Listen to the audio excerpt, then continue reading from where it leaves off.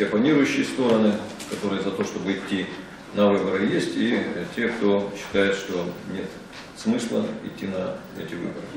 Э, У нас э, регламент следующий, что мы сегодня даем э, сказать, первое слово Андрею Николаевичу Савельеву, он выступит с позиции нашего национального, русского национального фронта. Соответствующим образом будет высказана наша позиция. После этого мы даем оппонирующей стороне высказаться э, те аргументы привести, которые она считает э, для себя необходимым с точки зрения э, идти или не идти. Ну и будем проводить дискуссию таким образом, что каждому будет представлено порядка 7 минут, чтобы высказать свою аргументацию. И где-то у нас продлится заседание до э, 18.45. Давайте тогда начнем. Значит, первое слово я передаю Андрею Николаевичу Савельеву, члену штаба РНФ, лидеру Великой России, партии Великой России. Мы надеемся, что сегодняшняя дискуссия предложит аргументы э, как за участие в этих выборах, и если за, то почему, зачем нужно идти на эти выборы, мы хотим услышать от сторонников участия в выборах ответ на этот вопрос, так и против участия. Мы со своей стороны аргументы выскажем, кто-то их поддержит полностью, кто-то частично, кто-то дополнит э, наше мнение или обоснование этого мнения, кто-то выскажется против. Э, Но нам надо увидеть вот этот спектр взглядов. Э, Мы надеялись, что политические партии живо на это откликнутся, тем более, что для организации этого мероприятия от них не требовалось ничего, кроме того, что явиться сюда со своей позицией. Но, к сожалению, большого э, отклика мы не получили. Некоторые партии сделали вид, что э, до них информация не дошла, хотя мы точно знаем, что она дошла. Ну уж э, вот такие выборы и такие партии, с которыми мы сталкиваемся. И я предлагаю точку зрения, которая в значительной степени совпадает с тем, что уже есть в официальных заявлениях Русского национального фронта, но и добавляю какие-то здесь свои собственные суждения, как специалист в этом вопросе. И начинаю с э, того, что э, информационное пространство, которое нас окружает, э, вообще не интересуется выборами. Я сегодня специально посмотрел вести по федеральному каналу, по государственному в 11-12 часов. Вести в 11 часов начинались с, вопросов лечения от храпа. А вести в 12 часов в основном событиями в Сирии и в Италии. Ни одного слова о выборах э, в официальных информационных сводках нет. Э, Пару дебатов, так называемых, я посмотрел. Это не дебаты. Это не дебаты, это э, очень дешевая реклама. Люди, которые никогда рекламой не занимались, пытаются что-то рекламировать. Свои символы, свои физиономии, может быть. То есть информационное пространство не занимается выборами. Если какие-то там ролики кто-то заметит, какие-то отдельные фразы увидит, ну, может быть, он что-то что узнает. Э, Вот еще один образец, который до меня добрался, ну, просто потому что я был близок к источнику этой продукции. Э, Не буду называть фамилии. Вот э, депутат Единорос. Так как он выглядит на буклетике, он выглядел лет 20 назад. То есть это реклама того товара, который не существует. Вот буклетик, э, в котором э, пять, пять вопросов, которые сам себе этот действующий депутат задает и на них отвечает. Ничего существенного, что могло бы э, действительно интересовать избирателя, нет. Это не последний человек Единой России, заместитель председателя фракции. И вот, э, когда у него спрашивают, э, какими достижениями вы гордитесь, э, он сам себя спрашивает, сам отвечает. За 17 лет работы в Гос- в Госдуме я приобрел такую правовую подготовку, что уж очень многие нормы законов знаю наизусть, понимая, как нормы отразятся на людях. Я являюсь одним из лидеров по количеству принятых законов, все они направлены на повышение качества жизни людей. То есть ни о чем. Человек 17 лет просидел в Думе, он ничего конкретного сказать не может. Только говорит о том, что он занимает высокие должности, за 17 лет э, он прошел э, какие-то шаги по карьерной лестнице и э, вот приобрел огромную подготовку, которую на самом деле приобретают на студенческой скамье. И еще вопрос, кто и что вдо- вдохновляет вас на работу? И он пишет, меня вдохновляет и наша эффективная внешняя политика, и деятельность нашего президента Владимира Путина, у которого я стараюсь по- постоянно учиться. Ну, как бы лизнул, глубже некуда. Э, Вот такого рода реклама и брошюрка того же самого автора э, с теми же физиономиями, снятыми 20 лет назад, что вам необходимо знать о ЖКХ. То есть человек, видимо, занимался вопросами ЖКХ очень долго, и э, вот такая инструкция. Тут ничего о парламентской работе, о законах. Эта инструкция, представляете, эта книга, тут порядка 100 страниц, почти 74 страницы, о том, как обычному гражданину разбираться с вопросами ЖКХ, как будто у нас в жизни больше ничего нет. Вот мы должны изучать эти брошюры и наблюдать вот за такие, вот такого рода физиономиями. Это такая преамбула, а по существу, кто проводит выборы? Вот те люди, которые пров- проводят выборы, кто наделил их полномочиями? У них есть права проводить выборы? Если Конституция в 1993 году не получила необходимых 50% голосов избирателей от всего числа, от всего корпуса избирателей, а может ли она считаться принятой? По действующему на то время закону о референдумах не может. Поэтому все государственные институты, которые формируются на основе этой Конституции, не являются легитимными. Ну, мы понимаем, что если сказать, что все это должно прекратить действовать, то тогда, можно сказать, государственность распускается. Хорошо, пусть действует эта Конституция, пусть сочтем, что она не, нелегитимна, но э, лучше хоть какой-нибудь закон, чем вообще никаких законов и ликвидация государства. Хорошо, те, кто ее принял, те, кто кля- клянется на этой Конституции, они ее исполняют? Нет, они не исполняют. Они не исполняют ни э, в основополагающих э, ее статьях, ни в тех, которые посвящены деятельности органов государственной власти и порядку формирования этих органов. Есть статья, которая говорит, народ источник власти. Вроде бы выборы должны э, превращать эту формулу в нечто реальное, формировать вот, эти, вот эти институты государственной власти. А В Конституции в деталях это не написано. Там есть только положение о том, что э, в России многопартийность. Но чтобы партизировать все выборы, там и слова нет. А последние два сезона деятельности э, Госдумы у нас были только партийные выборы. Сейчас снова вернулись к мажоритарным. Э, Там э, нет э, никаких фракций и нет никакого права депутату становиться членом какой-либо фракции. А реально Государственная Дума действует только через фракции. И если кто-то, одинокий депутат, пробьется каким-то образом без партии в Государственную Думу, то он вынужден будет вступить во фракцию. И по практике, скажем, 93-2007 года, как я смотрел, ну, было в Думе, пока были вот эти мажоритарные выборы, было человек 15 тех, кто мог э, себе позволить быть вне фракции. Они не имеют никаких прав, потому что ты представляешь только одного себя, а представитель фракции представляет как минимум несколько десятков человек. И всегда Государственная Дума принимает решение, ну мы дадим выступление сейчас в дебатах по каждой фракции, ну а вы кто там такой, одинокий депутат, естественно, слово практически никогда не получали. И эти люди э, оказываются вообще как бы отброшенными. Всех депутатов склоняют к тому, чтобы они партизировались, вошли в состав фракции, действовали, подчиняя себя э, интересам этих фракций. Если судить по э, конституционным нормам, то люди, которые организуют выборы, это самозванцы. Это самозванцы, потому что они присвоили себе полномочия, э, которыми их не наделял никакой легитимный орган власти. То есть вот эти все ЦИКи и так далее. Но это только фасад. Реально организация, организация выборов э, занимается в неформальном плане э, люди, которые связаны с поступками, которые трудно оце- оценить иначе, как государственную измену.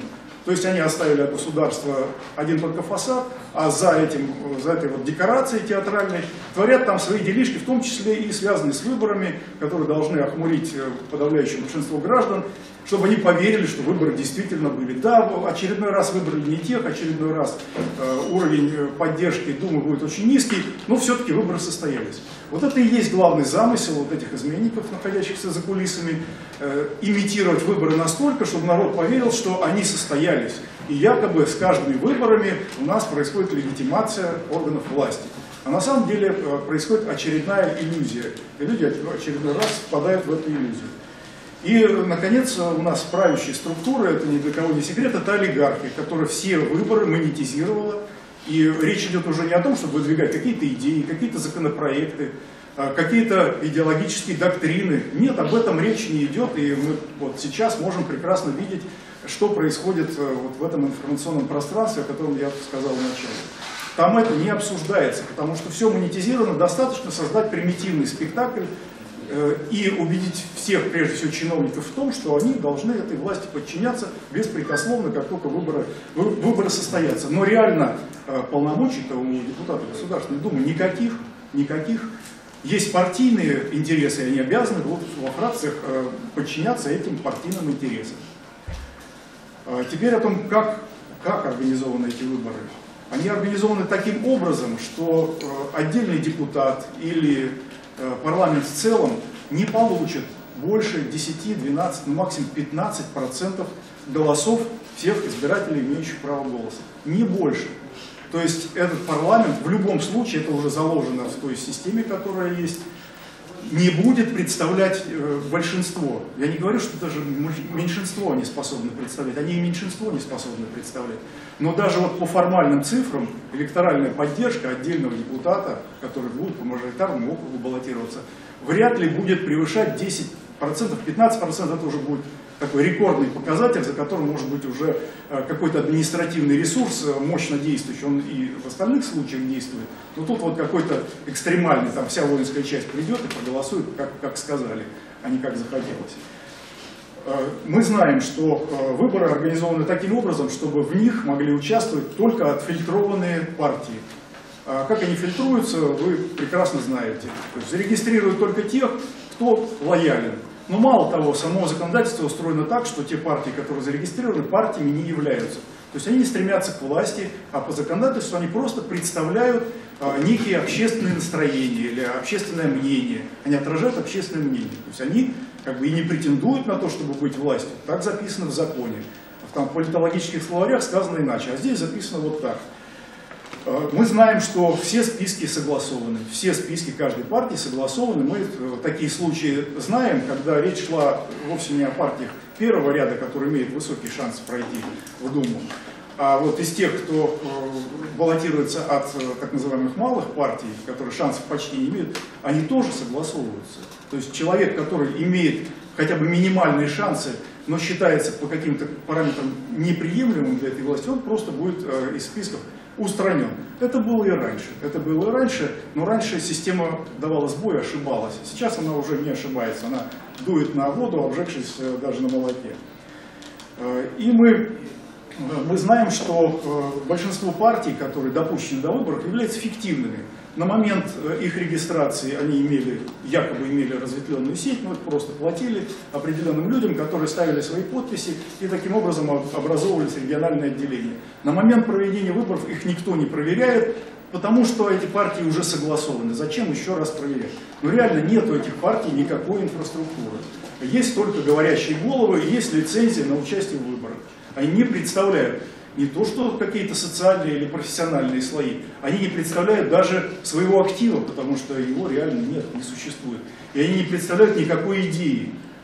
Э, Зато есть фальшивки на все вкусы, есть хоть любой помысел, он предлагается в виде вот такого макета партийного. Вы хотите за пенсионеров есть, хотите за экологию есть, э, как социалисты, пожалуйста, коммунисты, две партии, все что угодно на ваш вкус. Самый, вот, самый непритязательный вкус, он всегда получит э, некий э, такой символ, что ваш интерес, представлен на выборах. не в парламенте, а на выборах представлены. Большинство этих интересов, естественно, за борт будут выброшены после оглашения э, результатов выборов. Мы посмотрим, завершаю, посмотрим к русскому вопросу кто-нибудь из э, тех партий, которые выдвинулись на выборы, имеет какое-нибудь отношение, поднимал этот русский вопрос, говорил бы о демографии русского вопроса, говорил бы о геноциде, о заливающей э, государственные органы русофобии. Нет таких участников, а русские большинство, подавляющее большинство в Российской Федерации, ни одна партия этот вопрос не поднимает, и на дебатах его не предусмотрено поднимать. Потому что очень неудобный вопрос. Как только его начинаешь поднимать, сразу понятно, что все это фальшивка, это не выборы. Стоит ли в таких выборах участвовать? Мы пришли к выбору, что если это фальшивка, то участвовать в них не нужно. Напротив, нужно противостоять такой избирательной системе, такой системе формирования государственной власти, э, противостоять фальсификаторам э, политической системы, противостоять фальсификаторам выборов. А фальсификации мы ожидаем, как и раньше они были, и изобличение, к сожалению, не приводит ни к какому изменению, потому что как бы все уже договорились, судебная система, правоохранительная система, государственные органы, все они между собой договорились. Поэтому мы считаем, что задачи граждан на этих выборах, во-первых, разоблачение их лживости и нелегитимности тех органов, которые будут по итогам этих вы- выборов сформированы.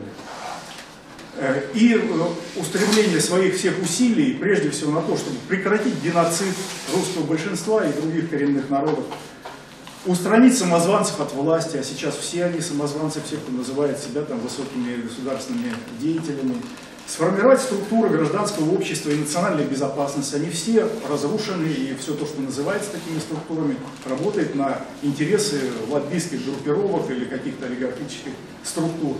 Как таковой национальной безопасности у нас тоже уже нет. Эти органы работают в другую сторону, в другой сфере.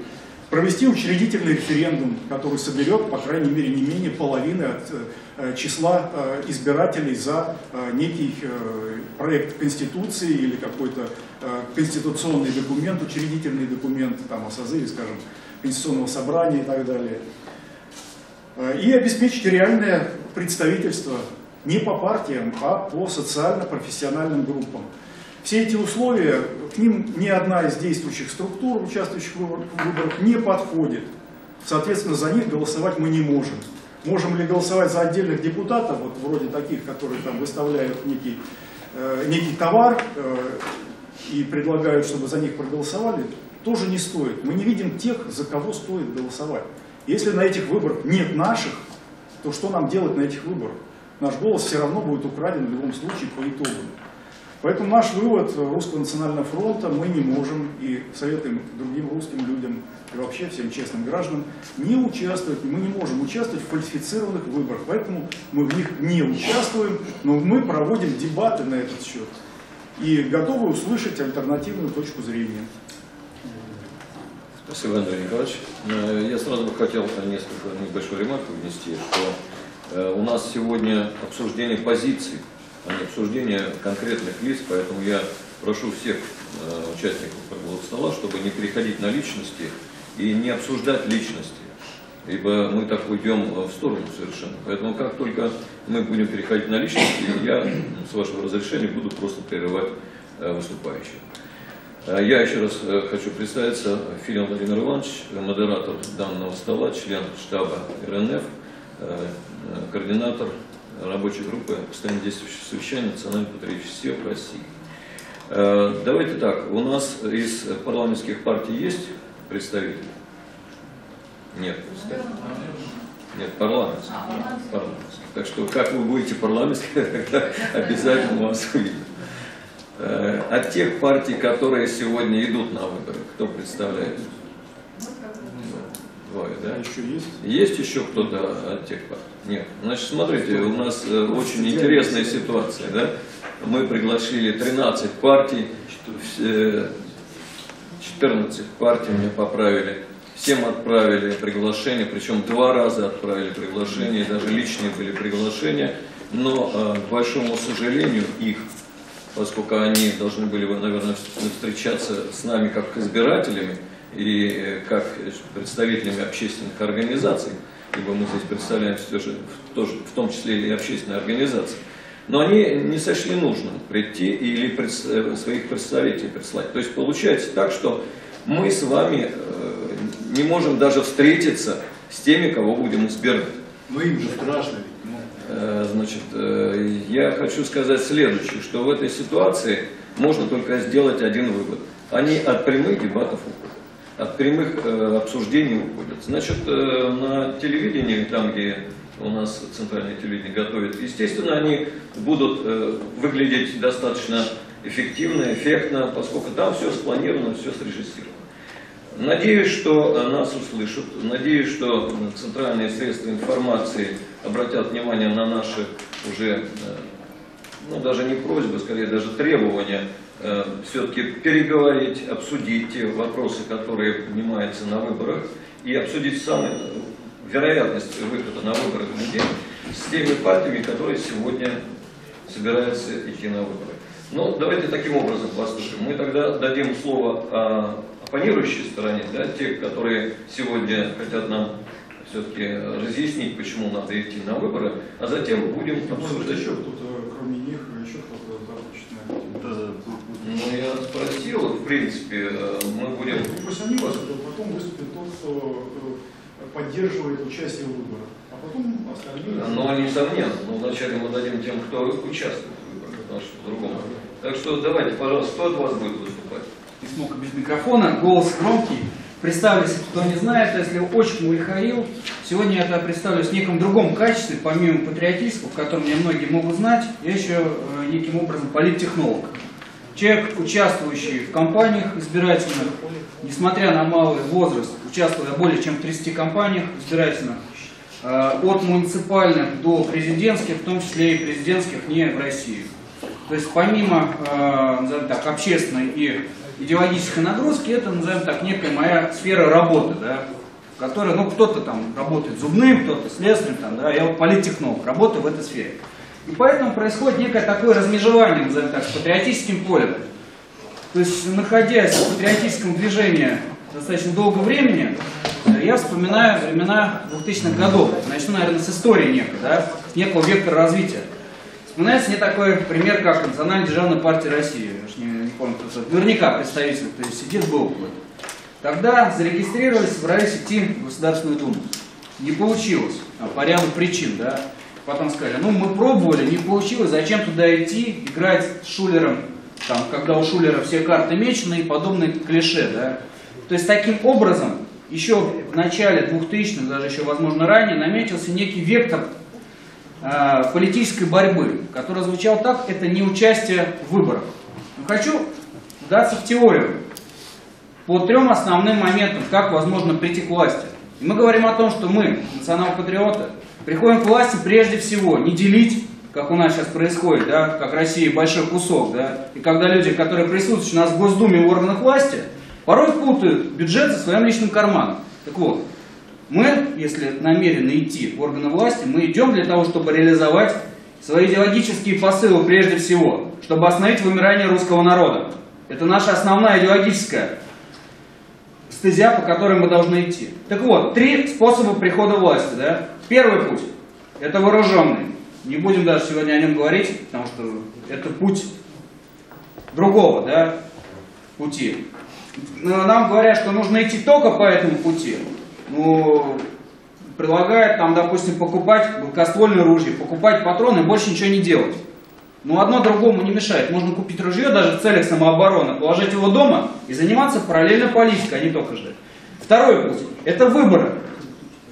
Общепринятый, общеизвестный мировой путь. Во всех странах практически присутствуют выборы. Да, это сложный механизм, сложная система, которую нужно понимать да, изнутри. И третий путь – это создание параллельных структур. Мы знаем это на пути, скажем так, ленинской борьбы. Да? Так вот, мой глубокий опыт показывает и исторический опыт, что одного чистого пути его никогда не бывает. Это все время комбинированное. Что-то создание параллельных структур, что-то с вооруженным каким-то действием, что-то даже с дворцовыми переворотами. Но три основных пути. На данном этапе выбор это один из легальных способов политической борьбы.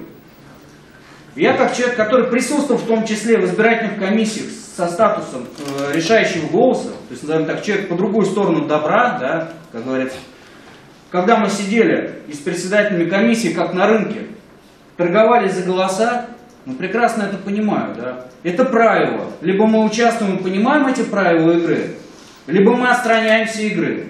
А игра, это, извините, если так говорить, это наша политическая борьба. Да, правила не сложные. Да, карта не мечена, если, как говорится, Шулер. Но зная эти метки, можно и выигрывать.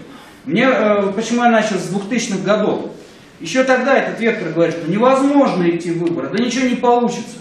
Так я заявляю сейчас, со всем опытом, что возможно не на глобальном уровне, а на минимальном, на муниципальном уровне. Призываю всех, в следующем году будут муниципальные выборы в Москве. Я говорю о том, что этот уровень никто не смотрит, это никому не нужно, и можно пройти. И предлагаю всем нашим национал-патриотам участвовать обязательно в муниципальных выборах. Потому что невозможно, не зная эту систему, невозможно из грязи в князи попасть. Невозможно, не пройдя муниципальный уровень, московский уровень, там, окружной, районный и так далее. Идти сразу в Государственную Думу. Нужно набирать ресурсы, которых у нас по сути нету на данном этапе. Так вот, еще одни такие факторы э, из своего опыта, что выборы, да, это механизм практически срежиссирован. Я могу даже посчитать цену. В нашем современном рыночном обществе все имеет цену. На данном этапе цена выборов, прохода одного кандидата, стоит килограмм сосисек на избирателя. В зависимости от избирательного округа, да, будь то это местный, будь то это глобальная государственная дума, все это практически считается. В зависимости от известности кандидата, либо он малоизвестен, это таких плохие сосиски, да, если он известен, уже у него есть административный ресурс, тогда это другая цена сосисек. Так вот, э, мы понимаем, что этот процесс практически полностью срежиссирован, да, что все списки практически определены. Но я могу заявить о том, что выборы, они делаются двумя тактиками. Первое это деньгами, да, когда все есть, когда это покупается. Второе это ногами. У нас на данном этапе нету практически ресурсов. Наши возможности делать выборы и проходить, и побеждать в них, и такие примеры есть, я еще раз повторюсь, на местном уровне. Только ногами. И почему призывают участвовать в выборах? Это называется брать листовки, печатать их, чуть ли не на ксероксе, и идти агитировать. Что это дает и что отнимает, я хочу просто подвести такие итоги. Да? Заявления да, какие-то, если делать во время выборов, вероятность, что их услышат и увидят средства массовой информации, намного более велика, чем нежели простого человека, который заявит какое-то мнение. Я как кандидат, допустим, могу написать какую-то жалобу в ЦИК, в ТИК, сделать заявление для СМИ. Если у меня будут конкуренты какие-то, у которых вроде как бы все куплено, да, у меня на данном этапе конкурент там зам губернатора, да, но несмотря на это, я могу сделать заявление так, чтобы меня можно было слышать по всей стране практически. Мы сейчас пытаемся делать такие шаги. То есть за счет выборов мы решаем ряд конкретных задач. Первое – это агитация. Это путь как раз параллельный выборах создания своих параллельных структур. Я думаю, Валентина потом более подробно уже, как по процессу выборов, что она сейчас подробно расскажет, что происходит в Воронежской области, какие у нас конкуренты, как они себя нагло ведут, просто чтобы, ну сейчас кон конкретику, как говорится, не останавливаться на ней, я глобально. Почему по путям выбора э, национально-патриотического движения и наша позиция, что мы предлагаем, почему участвовать непосредственно в выборах. Э, дальше, помимо агитации, это нахождение сторонников, это сплочение некой команды, это опыт участия. Потому что с каждым разом ты понимаешь, где тебя обыграли в прошлый раз. То есть у меня, например, оппонент был ректор МИФИР. Могу сказать, например, в день выборов я у него выиграл, а на досрочном голосовании проиграл, потому что досрочное голосование было за подарки. Так зная это, можно выигрывать. А не участвуя в этом, мы отклоняемся от политической борьбы. Извините, но такие правила. Либо мы участвуем, либо нет. Э, дальше, по э, поводу неучастия бойкота выборов. Если э, брать стратегически, то есть примеры стран, когда действующие партии, которые входят в парламент, предлагают выхода из бойкота, тем самым создать некий такой офсайд, как в футболе. Да? Михаил, прошу прощения, время. Да, я буквально э, несколько минут еще подытожу тогда, потому что это достаточно долгий процесс, и это как стратегический путь, потому что действительно оппонирую этому и призываю всех участвовать Э, всех э, призываю участвовать в выборах. Э, в том числе по какой причине еще сейчас более подробно. Потому что если мы не участвуем в выборах, Что происходит? Я вот это основное хочу донести. То есть мы как организация, допустим, заявляем, не участвуем в выборах. На данном этапе явка на выборы, сказали, будет порядка 15%. То есть реально бойкотом мы не можем повлиять на результат выборов. Мы влияем на то, что явка становится еще меньше. То есть, допустим, если все национальные организации начнут агитировать, национальные патриотические организации начнут агитировать за то, что не ходите на выборы, люди не пойдут. Условно, явка с 15% будет 10%. Мы поставим задачу себе, добьемся. Что будет в результате? А я скажу, что будет в результате. Малая явка, она ведет к тому, что побеждает Единая Россия. Это процессы, которые, может быть, просто присутствуют здесь не все понимают. Я могу более подробно разъяснить. И мы можем влиять на результаты выборов только когда явка будет максимальная. Чем больше процентов, тем сложнее фальсифицировать выборы. Это общая международная практика такая. Чем меньше явка, это более выгодно привлечение админ-ресурсов. То есть, если мы говорим, не участвуем в выборах, тем самым мы даем голоса Единой России. Вы понимаете это или нет? Если... Это... Это не так, это так. Я утверждаю, что это так. Тем самым вы еще отнимаете голоса у малых партий. А по закону у нас, что если малая партия не набирает 5%, то голоса идут в копилку Единой России. Может быть, вы просто этого не знаете. Так вот, я вам как раз хотел основной посыл доказать это. И то, что если мы не участвуем в выборах, мы, прису- мы отстраняемся от политической борьбы. Я заканчиваю. Если мы не участвуем, значит мы уже проиграли. А мы участвуем, призываем к борьбе, а не сложить лапы. Спасибо. Спасибо. Э, Есть кто э, готов выступить э, и обсудить предложения, которые вы здесь услышали от Михаила? Кто из выступающих готов? Э, Климин Алексей, э, значит, э, Московское общество испытателей природы и одновременно являюсь активистом значит, монархической партии России. Значит, хотел бы возразить, потому что я как бы хочу высказать свое мнение. Мое мнение совпадает абсолютно с позицией Савельева Андрея Николаевича по следующим значит, причинам. Э, Сегодня, насколько я понял, э, значит, кроме курса «Единой России» на развал и обнищание страны, наметился зыбкий диалог между национал-патриотами, так называемыми, и левыми силами, в частности КПРФ. Значит, э, э, задумка такая у этих двух сил. Большинством создать как бы силу определенную, да, свергнуть либеральное прочубайсовское правительство и вести диалог с властью уже с позиции силы, опираясь на поддержку народа. При этом национал-патриоты говорят о национальном правительстве, о национальной промышленной буржуазии, и тем самым вызывает серьезнейшее негодование со стороны КПРФ, которая вообще не приемлет никакую буржуазию, стоит на обобществлении средств производства и стоит наоборот за уничтожение любой буржуазии. Но, но у этих двух сил, присмотритесь, у национал-патриотов и у левых, есть единая платформа. Что это за платформа? Это социализм. Это э, более справедливое распределение материальных благ. Это бесплатная медицина, образование, здравоохранение и так далее. Значит, и если э, э, национал-патриоты на коленях просят КПРФ объединиться, создать единый фронт, то КПРФ, мы это видим по э, значит, различным круглым столам и дискуссиям, КПРФ в этом перспектив совершенно не видит. И сегодня общей проблемой для всех политических сил России является все-таки, правильно Михаил сказал, я поддерживаю полностью, это низкая явка населения на выборах. Вера народа убита сегодня, и это основная пробле- проблема сегодняшнего дня. Значит, действительно, значит, власть, используя административный ресурс, э, может, как мы это видели, да, может влить 40% бюллетеней при любом голосовании. И мы это убедились не единожды. Кроме того, сегодняшняя власть, используя административный ресурс, перенесла выборы с декабря-март на сентябрь, когда явка населения минимальная. Максимальная явка населения именно в декабре и в марте. Мы это все знаем об этом. И голосование в это время протестнее. Вот э, тоже это серьезнейший как бы э, момент. Э, Кроме того, я э, значит, предполагаю, что справедливая Россия окончательно разгромлена.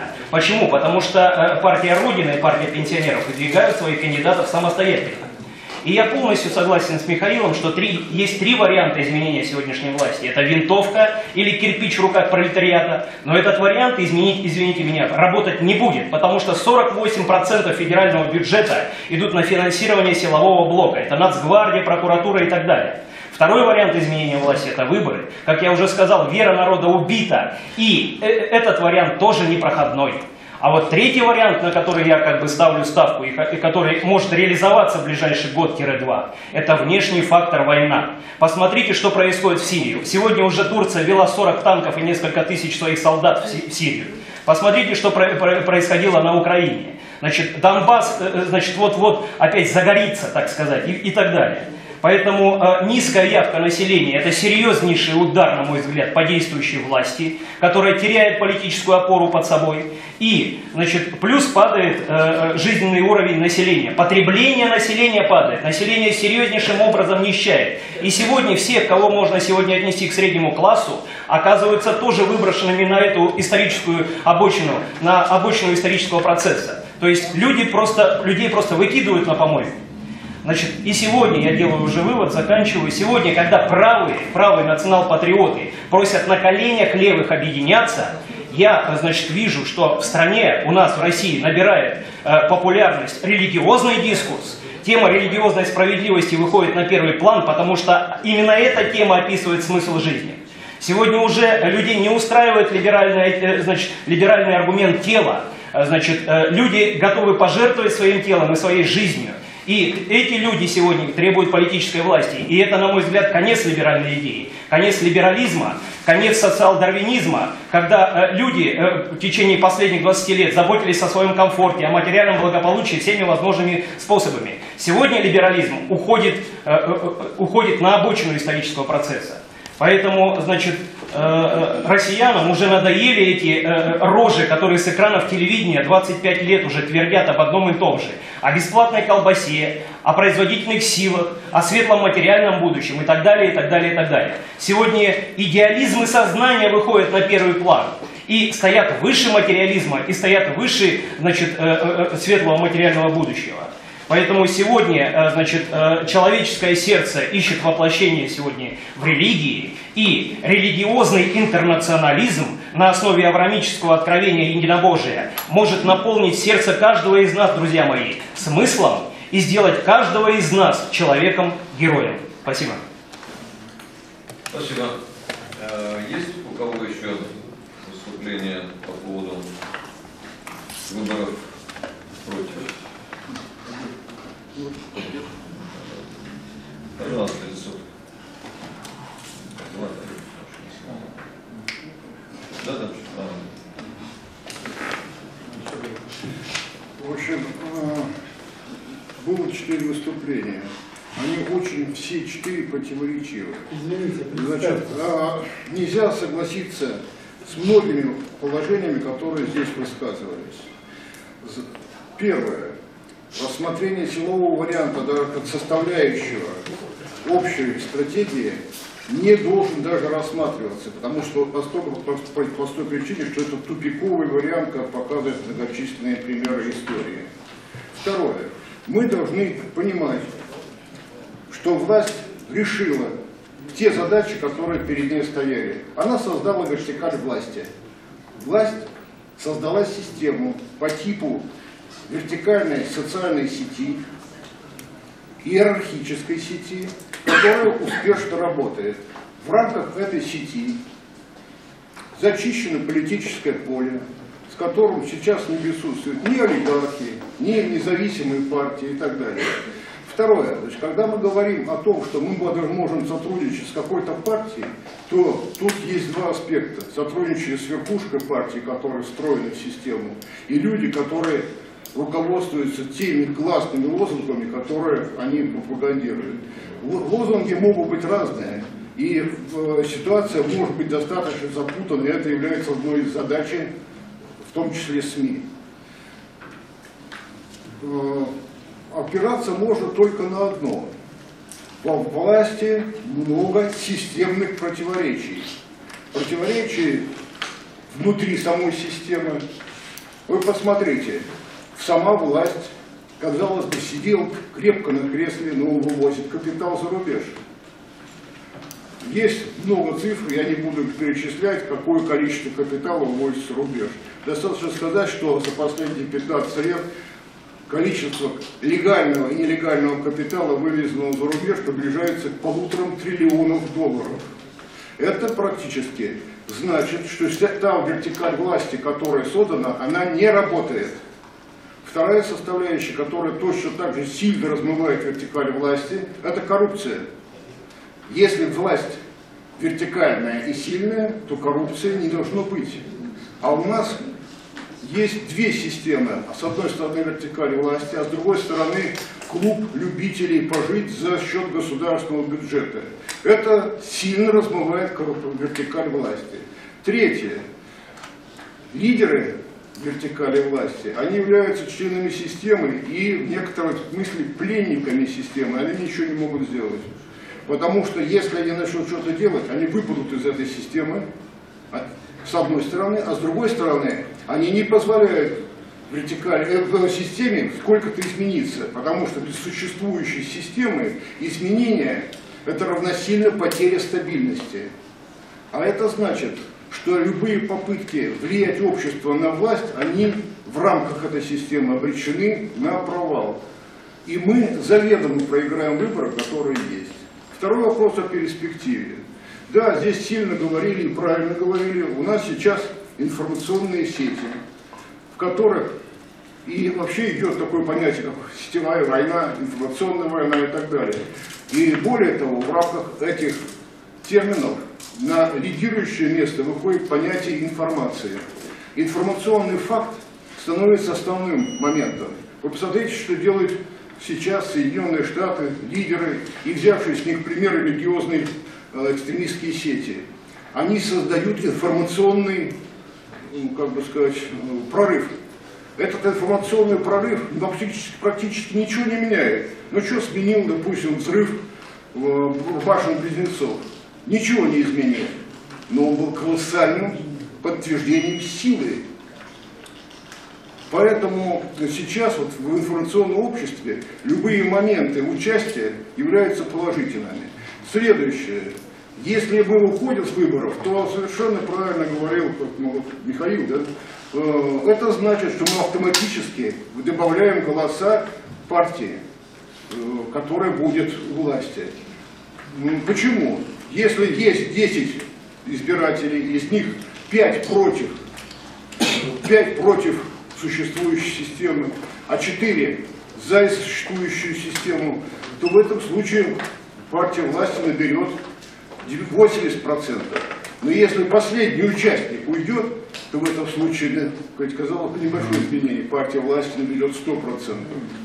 То есть любой переход из э, сказать, с поля голосующего против на не голосующего, это увеличение процента власти в существующем парламенте. Поэтому здесь молодой человек абсолютно прав. Следующее. Значит, э, ну тут уже развитие того, что здесь говорили. В информационном обществе наибольшей мощностью обладает информация. А мы сейчас живем в информационном обществе. А продолжаем действовать по старым технологиям. Мы новые технологии практически не применяем. Мы, э, это привело к тому, что мы в очень большой степени разобщены. Вы посмотрите, существует десятки, если не сотни различных небольших движений, групп, так сказать, противодействий и так далее, но они все действуют независимо, не скоординированно. И в результате то, что они делают, не является информационным, силовой точкой на информационном поле. То есть этим всем можно пренебрегать, что власть успешно и делает. Тот же самый Медведев не стесняется сказать в Осло, что нам нужно, э, нам не нужна гласность. Нам, говорит, нужна свобода слова, но нам не нужна гласность, дословно заявил он. То есть вы можете, можете говорить все, что угодно, но что мы делаем, это не ваше дело. Что это такое? Это значит, что власть полностью отстранилась от общества. Это серьезнейшее противоречие, которое должно чем-то кончиться. Конечно, власть сейчас сильна, но в то же время слаба. Она настолько сильна, что она частично противодействует сейчас влиянию, э, попыткам влияния Запада на внутреннюю политику. И достаточно успешная. По той простой причине, что вертикаль власти действительно построена, она сильная. Но у нас есть потенциал на информационном поле. И мы должны научиться его использовать. Если мы сейчас будем просто уходить, то следующая ситуация будет еще хуже. Вспомните 11 год, или там, Юрий Александрович, прошу 10 прощения, 11 время. год. Ситуация была гораздо Время. Э, более оптимистична, чем сейчас. Мы сейчас выборы проиграем. Спасибо. Я Боброву предоставляю слово, почему? Потому что она, по-моему, после выступления собирается уходить. да? Меня зовут Валентина Боброва, Национальное консервативное движение. Вот э, на данный момент я являюсь кандидатом в Государственную Думу от партии, э, от Российской экологической партии «Зеленые». Значит, э, я бы хотела обратить внимание всех национал-патриотов сегодня э, на Европу. Вот посмотрите, э, значит, там национал-консерваторы, значит, правые находятся в Европарламенте. В том Европарламенте, в той самой гей-Европе, как ее называют, но тем не менее националисты, среди них есть депутаты, значит, даже радикальная золотая заря. Вот. э, Чего не скажешь э, о нашем парламенте российском совершенно. Значит, в какой-то момент, конечно, многие надеялись на партию Родина, э, в которой состоял раньше Андрей Николаевич Савельев. Вот, все мы это прекрасно помним. И на данный момент, вот сейчас я являюсь оппонентом нового, так сказать, лидера партии Родина, это Алексея Жур- Журавлева. Сегодня у меня с ним идет жесткая, так сказать, борьба за мандат, скажем так. Значит, это борьба буквально с административным ресурсом. Это борьба с целой э, системой. Но тем не менее в эту борьбу я вступаю. Э, и считаю, что э, отстранение от политического процесса в стране сегодня для нас, для националистов русских, это просто преступление. Э, Вот с учетом того, что говорил Михаил, я не буду повторяться, что мы в копилку сегодня Единой России и той системой набрасываем еще больше очков своим отсутствием. Более того, мы отстраняемся вообще, получается, от общественной политической жизни. Каким образом мы тогда будем влиять вообще на массы? Понимаете, сегодня, вот даже благодаря вот этой борьбе, которую веду я с Алексеем Журавлевым сегодня, который уже э, проявил себя как абсолютно, э, как бы, не то чтобы не лидер, не- даже как не мужчина, понимаете? Даже пишет на меня там в ЦИК, э, пишет в ТИК жалобы, обвиняет меня в экстремизме, значит, э, пытается значит, э, оказывать давление через сотрудников полиции, через суд, обвиняет меня по статье 282 за э, разжигание межнациональной розни и прочее, прочее. Сканируют там мою страничку и прочее, все эти дела. А, э, Обвиняют, как это у них принято, в национализме. В то самое время, когда партия Родина, она, собственно говоря, э, создавалась э, Рогозиным как национально-патриотическая некая сила, куда, собственно, как мотыльки с- сбегались, так сказать, э, все национал-патриоты, которые считали, что вот оно то самое, значит, вот оно, э, да- давайте, значит, сейчас мы возьмем власть. На самом деле оказалось нет. И на данный момент это абсолютный спойлер. Вот э, сейчас, в преддвериях э, выборов, э, мы планируем международную конференцию, которая так и называется «Выборы как инструмент э, создания национально-консервативного лобби в противовес, э, как альтернативу антинациональному либеральному лобби». Э, На эту конференцию приедут правые Европы, то есть это национал-консерваторы, наши друзья из Сербии, Бельгии, Италии, Германии и других стран, из Польши, значит, и так далее. Вот. Мы хотим перенять опыт у тех людей, которые уже имеют его в Европе. Как ни крути, но вот здесь она всегда Европа была впереди нас. И в этом смысле в том числе. Несмотря на то, что там, конечно же, э, еще больше, так сказать, третируются вот такие национально-консервативные силы. Э, Там вообще невозможно, значит, э, вообще не высказать ничего против каких-то там миграционных потоков, еще что-то. У нас эта возможность есть, и мы не можем пройти никуда. Вот Андрей Николаевич был в Госдуме, да, вот был депутатом. Я просто, ну, как бы ув- уважаю э, Савельева за то, что он там делал, и вообще за то, что вот это получилось и так далее. Я считаю, что останавливаться-то не надо, нужно наоборот дальше идти. Нужно участвовать постоянно. И даже то, что сегодня я вижу, это то, что я обличаю вот Алексея Журавлева, я обличаю те самые выборы, ко- которые пытаетесь вы обличить вот, вот этот весь фальсификат, который там устроен. Потому что на данный момент мы готовим заявление в ЦИК о том, чтобы Алексея Журавлева сняли с выборов, потому что у него куча нарушений. Потому что он уже превысил лимит агитационный. Значит, э, абсолютно не соблюдаются никакие значит, нормы э, равноправия э, значит, э, кандидатов и так далее. Э, На самом деле создана такая ситуация, что из 10 кандидатов, которые идут по одному округу вместе с Журавлевым, это просто технические кандидаты, которые, ну, им дали просто, так сказать, немножечко, простите, рожей поторговать. И вот и никто не ожидал того, что какая-то, значит, э, девчонка начнет э, вот кидаться камнями самого лидера партии Родина. Более того, объединит родинцев э, сейчас члены партии Родина, Красноярского отделения регионального и других отделений регионов, намерены приехать в Москву на пресс-конференцию 2 сентября для того, чтобы поддержать не лидера партии Родина своего, а значит, своего соратника Валентина Боброва. Вот так мы ведем сегодня борьбу, понимаете? И я считаю, что, что надо было делать мне в этом случае. Надо было отстраниться от борьбы, надо было сидеть ровно, надо было ничего, значит, не делать. Я считаю, что наши действия абсолютно правильные. Может быть, в какой-то мере, я вот сейчас послушала Андрея Николаевича, я поняла, что действительно, э, ну я понимаю, вернее, что да, это все сфальсифицировано, что значит, массовый бойкот, он даст как э, результат. И что значит, э, власть не сможет осуществить вот эти фальсифицированные выборы. Но дело в том, что вы никогда не повлияете на ситуацию, потому что вы, вы вообще давно общались с народом. Я вот сама человек из народа, я из Воронежской области, вы, вы знаете, что э, ну, мою ситуацию, да? И я вам хочу сказать, что люди как бараны пойдут, понимаете, бюджетники. Я, не, я только приехала с Воронежской области, общалась с, с- с избирателями своими будущими. Они вообще всего боятся. Им что скажет начальник там какой-то маломальский, то они и делают, вы понимаете это? И никто, никто не пойдет против, и, значит, там буквально следят вот так, чтобы поставить галочку там, где нужно. И наша с вами задача сейчас рассказать людям о том, что вы имеете право голосовать за тех людей, которых вы считаете правильными, за тех людей, э, и нужно до них это донести сегодня. Значит, э, те люди, которые действительно вас поддерживают, из народа. Почему же вы э, боитесь, почему вы такие трусы, почему вы такие рабы? Вот о чем сегодня надо говорить, а не о том, чтобы давайте все вместе, они и так ничего не хотят люди, они и так выпали из процесса политических, им уже на все наплевать. Их превратили просто э, в какой-то биомусор сегодня. И мне страшно это произносить, но мне страшно за мою страну, мне страшно за своих детей. Я не хочу, чтобы мои дети жили в биомусоре. Я хочу, чтобы вокруг меня были патриоты, чтобы это были люди, а не рабы. Вот о чем сегодня, э, собственно, мы говорим. Поэтому я призываю э, национально-патриотические силы сегодня поддержать тех кандидатов, которые уже выдвинулись, участвовать самим.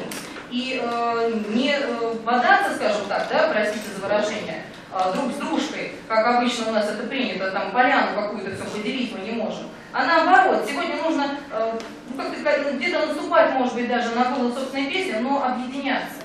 И э, по каким-то хотя бы процессным моментам друг друга поддерживать, все правильно, вот Лисовский сказал, информационно. Э, Прежде всего, мы в провале в этом смысле, в полном провале. И сегодня вот своей международной конференции э, значит, правых сил Европы и России мы хотим создать как раз такую площадку, значит, зарегистрировать ее официально. Значит, эта площадка будет создана для обмена информацией. Когда что-то проходит у нас, э, должны знать об этом консерваторы Европы. Когда что-то делают они, должно быть известно у нас. Мы должны обмениваться ресурсами, какие акции мы можем проводить совместно. Потому что сегодня у, национа- у националистов Европы и России общие цели и задачи.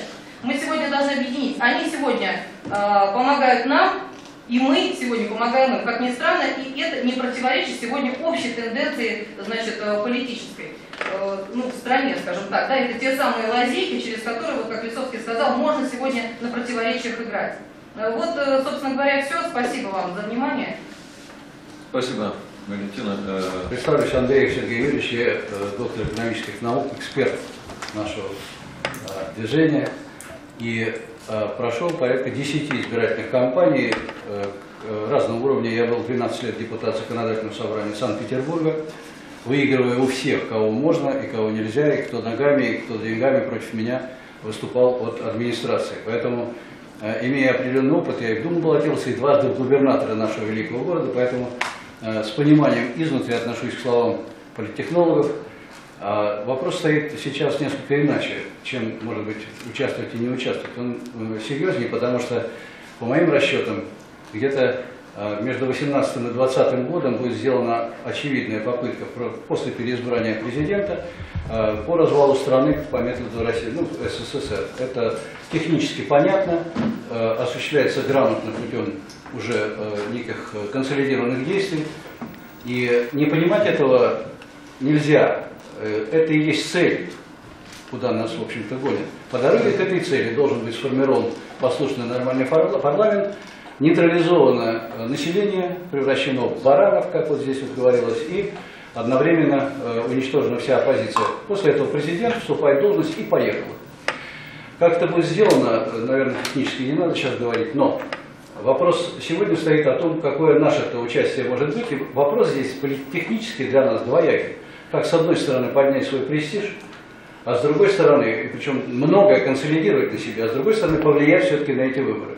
Вариант неучастия, он приносит победу действующей власти, действительно это так, она наберет больше очков и в процентном отношении составит то самое послушное большинство. А вот на чем можно консолидировать население, поучаствовав все-таки каким-то образом? Вот что сейчас самое главное является у нормального человека на кухне, в поле, в доме? Протест. Он не знает, как его выразить. Графы против всех нет. А вот теперь смотрите, если мы призываем голосовать, всех найти, кого можно, голосовать только за те партии, которых нет в парламенте, вот понимаете, это и есть протест против нынешних. Уберите их, поставьте любую галку, против кого хотите. То резко вдруг меняется налаженный механизм э, взятия власти действующей верхушкой, очередное взятие. И тогда происходит вдруг скособоченное э, голосование в пользу ногами, опять же в пользу тех, кого не было до сих пор. Вроде их расписали как технических участников, и вдруг они появляются в гораздо большем проценте, чем нынешние. И начинают противовесы существовать прямо там, в органах власти. Что они делают первое, придя во власть? Они начинают надувать щеки и делать из себя нечто большее, чем они были до сих пор. Получив процентное отношение в Думе, там, фракцию создавать. Но это то, на чем потом можно их ловить и говорить, давайте делать вот так, и давайте не так, как раньше потому что протестный электорат уже свое слово сказал. Поэтому выводы здесь такие. В принципе, я бы советовал, как вот именно политтехнолог, сплотить всех на консолидацию. Пришли и проголосовали против. Против кого? Против нынешних. Поверьте, это сработает на уровне обывателя. Да, он баран, он уже устал им быть. Иногда это становится мучительно. Уже 40% рост цен на, на товары первой необходимости за какой-то короткий срок довел всех до бешенства. Они ждут способа реализовать свой протест. Давайте им это дадим. Вот. И э, последнее. У нас, э, когда говорят, что вбросы и прочее, я проходил все эти вбросы. Э, сейчас все решается в ТИКах, территориальных э, комиссиях. Весь фальшак там. Им спускают цифры, они собирают с УИКов э, информацию, а в систему ГАЗ заводят другую. Это работает в течение... Почему они сразу не объявляют результаты выборов? Почему никогда не публикуются э, данные по УИКам? а только тиковские, сводные, которые уже заранее к ним пришли сверху. Не в комнате Чурова это волшебно делается, а это делается в каждой территориальной избирательной комиссии. Так вот вопрос. Если вторым э, требованием нашим будет публикация данных первичек, первичек, вот тогда это поставит всех в крайне неудобное положение. Вот эти сводные данные покажут реальное голосование. Вот о чем можно вторым говорить, при этом призывая народ прийти как можно в большем числе и проголосовать против нынешних. Вот это слабое звено нынешней э, системы, которая вдруг неожиданно нам придаст престиж. И при всем при том повлияет на результаты голосования, может быть, радикально. Спасибо.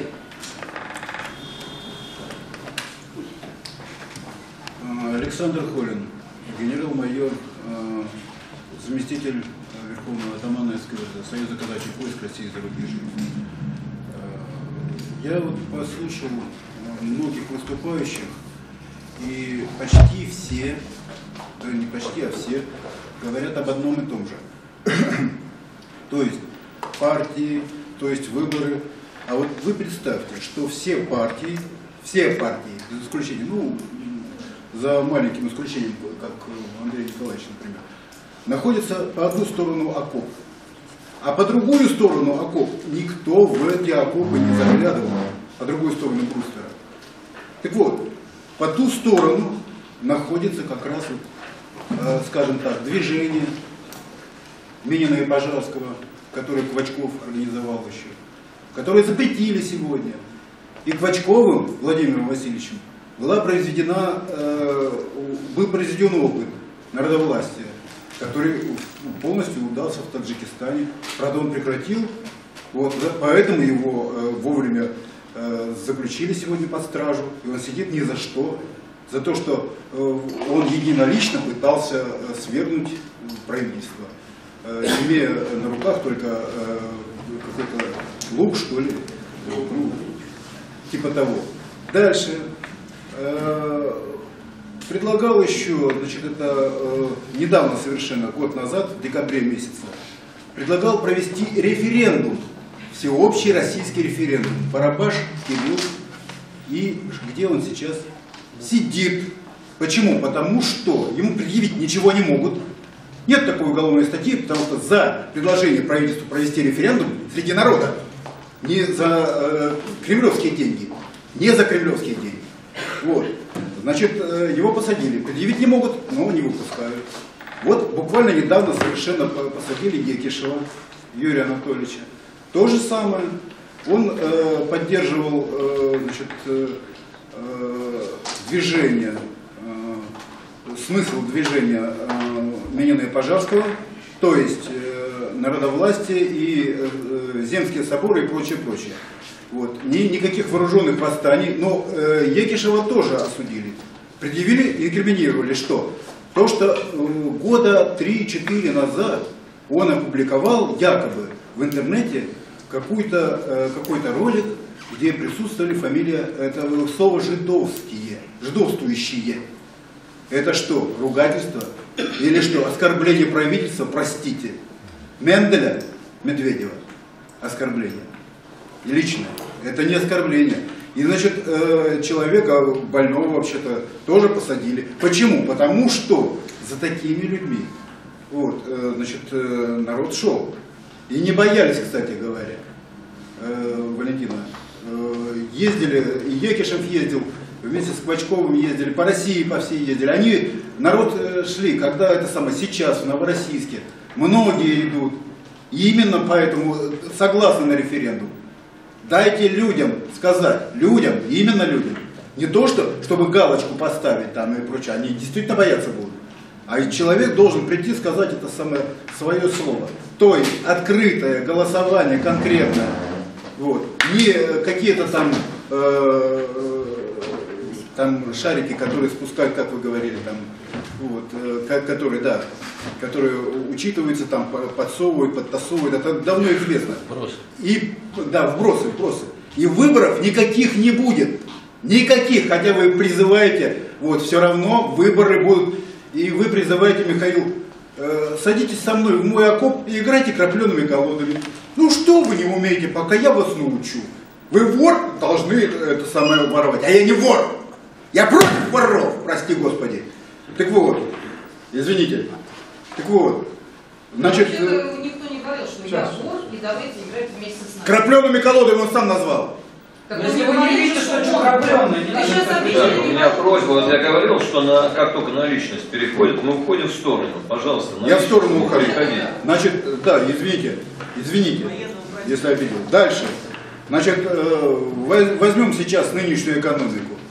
Дальше, в это, когда э, нынешний президент э, приходил к власти, доллар стоил 30 рублей.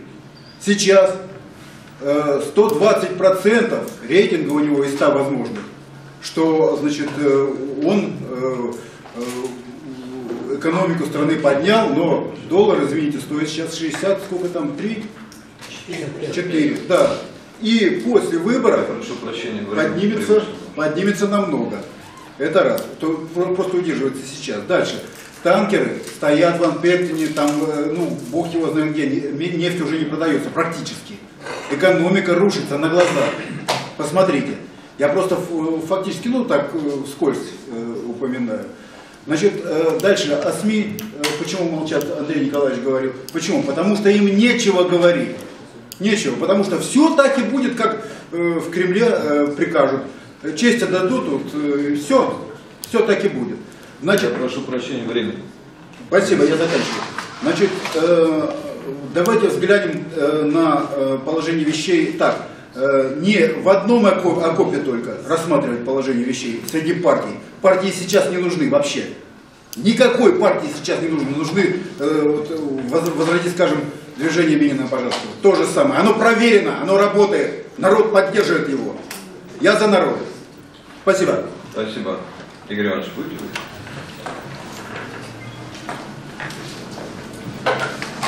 Я хочу прокомментировать утверждение представителей, которые участвуют в выборах.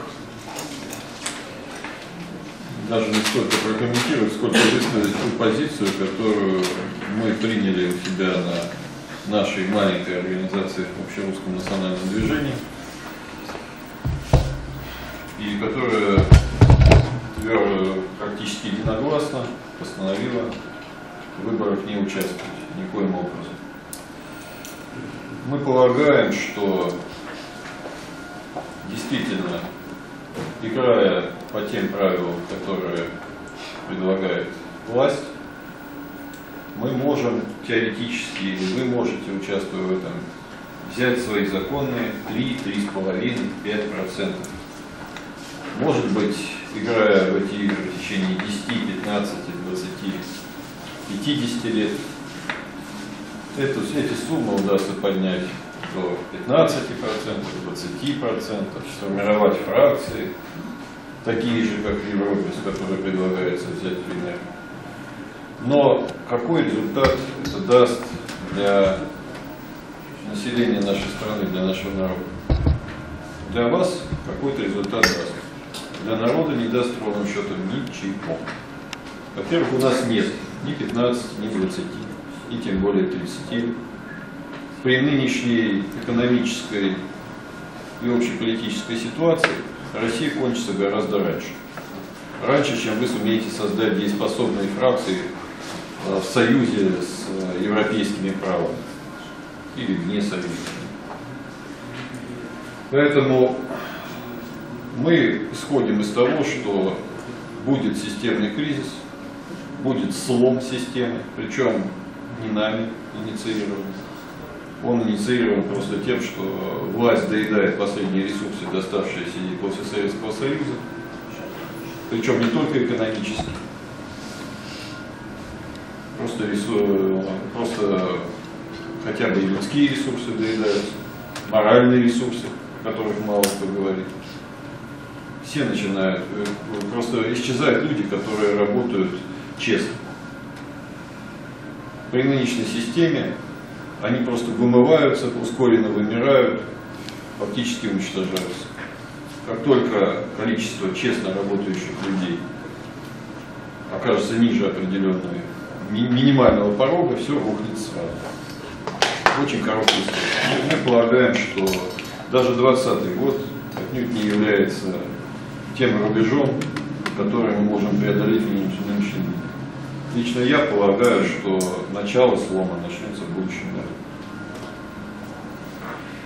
Тем более, что мы вошли в жесткое противоречие, и сама система вошла в жесткое противоречие с мировой олигархической капиталистической системой. И это противоречие не устранено. Нас все равно будут уничтожать. Поэтому, участвуя в выборах, вы всего лишь добавляете легитимность нынешней власти, вы признаете за ней право устанавливать легитимность. Играете в ее игры. Может быть, вы рассчитываете получить трибуну, ну, многие рассчитывают. Что за 25 лет что изменилось? По-моему, ситуация только ухудшается. Эта власть закостенела, окуклилась. Она не только не будет меняться в лучшую сторону, она будет просто завинчивать гайки. Это единственный способ его выживать. Это не значит, что мы должны эти гайки взрывать, мы должны их срывать.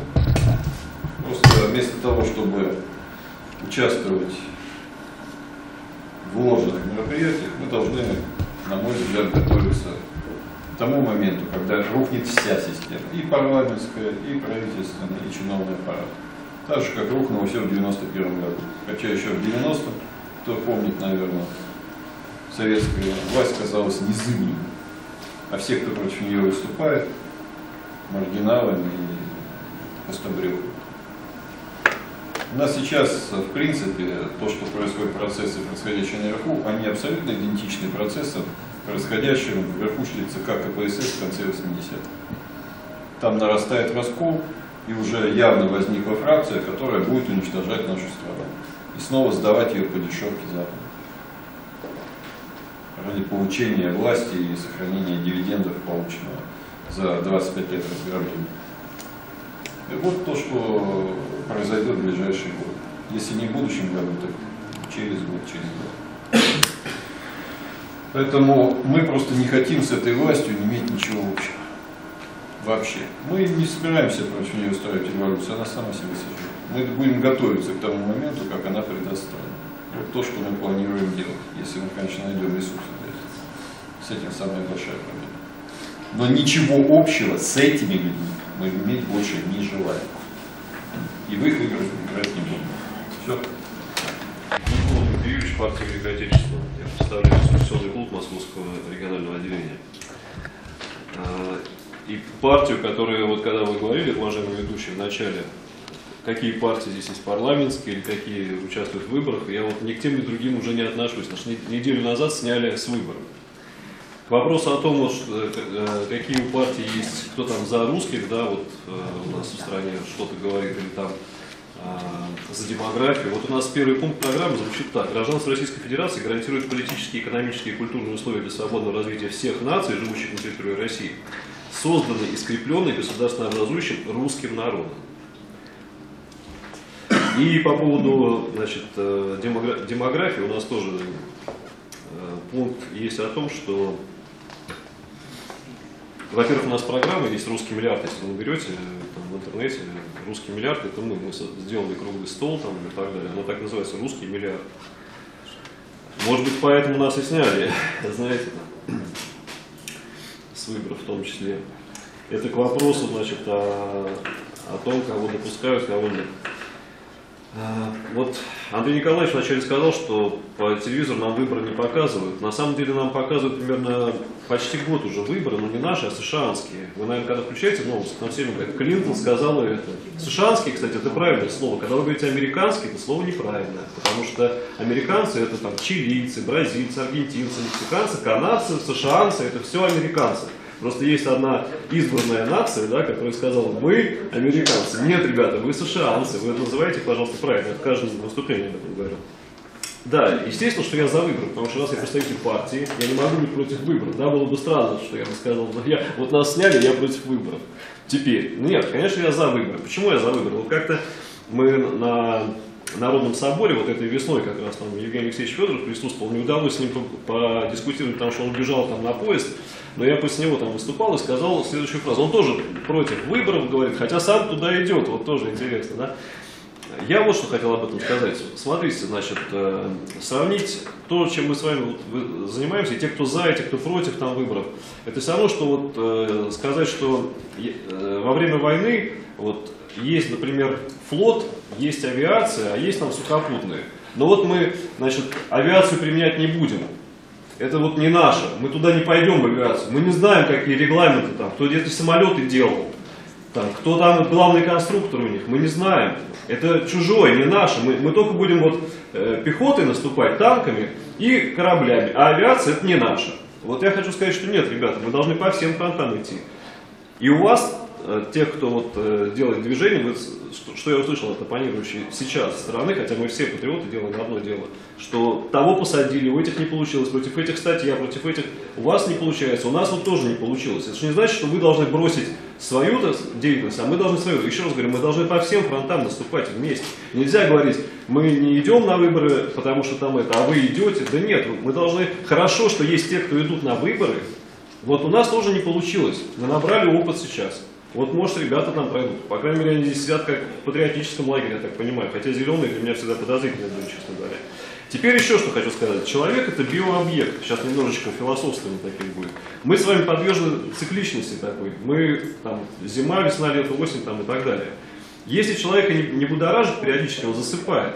Вот помните, как вот было предвоенные пятилетки или там военные, все собрались там, вкалывали, и страна бурно развивалась. Как Сталин сказал, мы за 10 лет должны пройти путь, который все прошли там за сколько там, за 100 практически лет.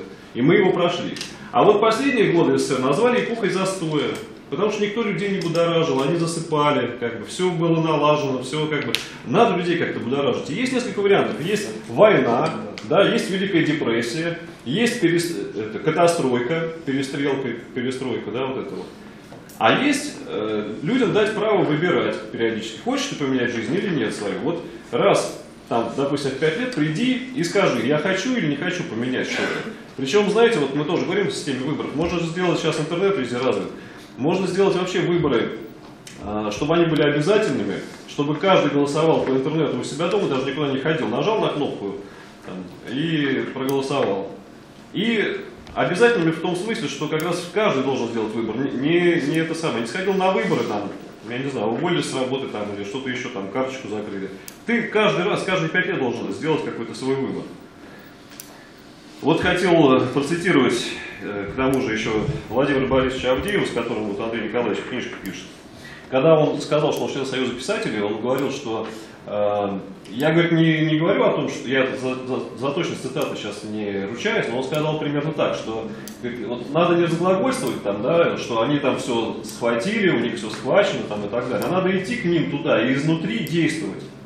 Надо не говорить, что там у них в Думе все схвачено, или там в системе выборов все схвачено. Мы, кстати, судимся сейчас, подали Верховный суд о, о том, что система выборов какая у нас оказывается интересная. Вот.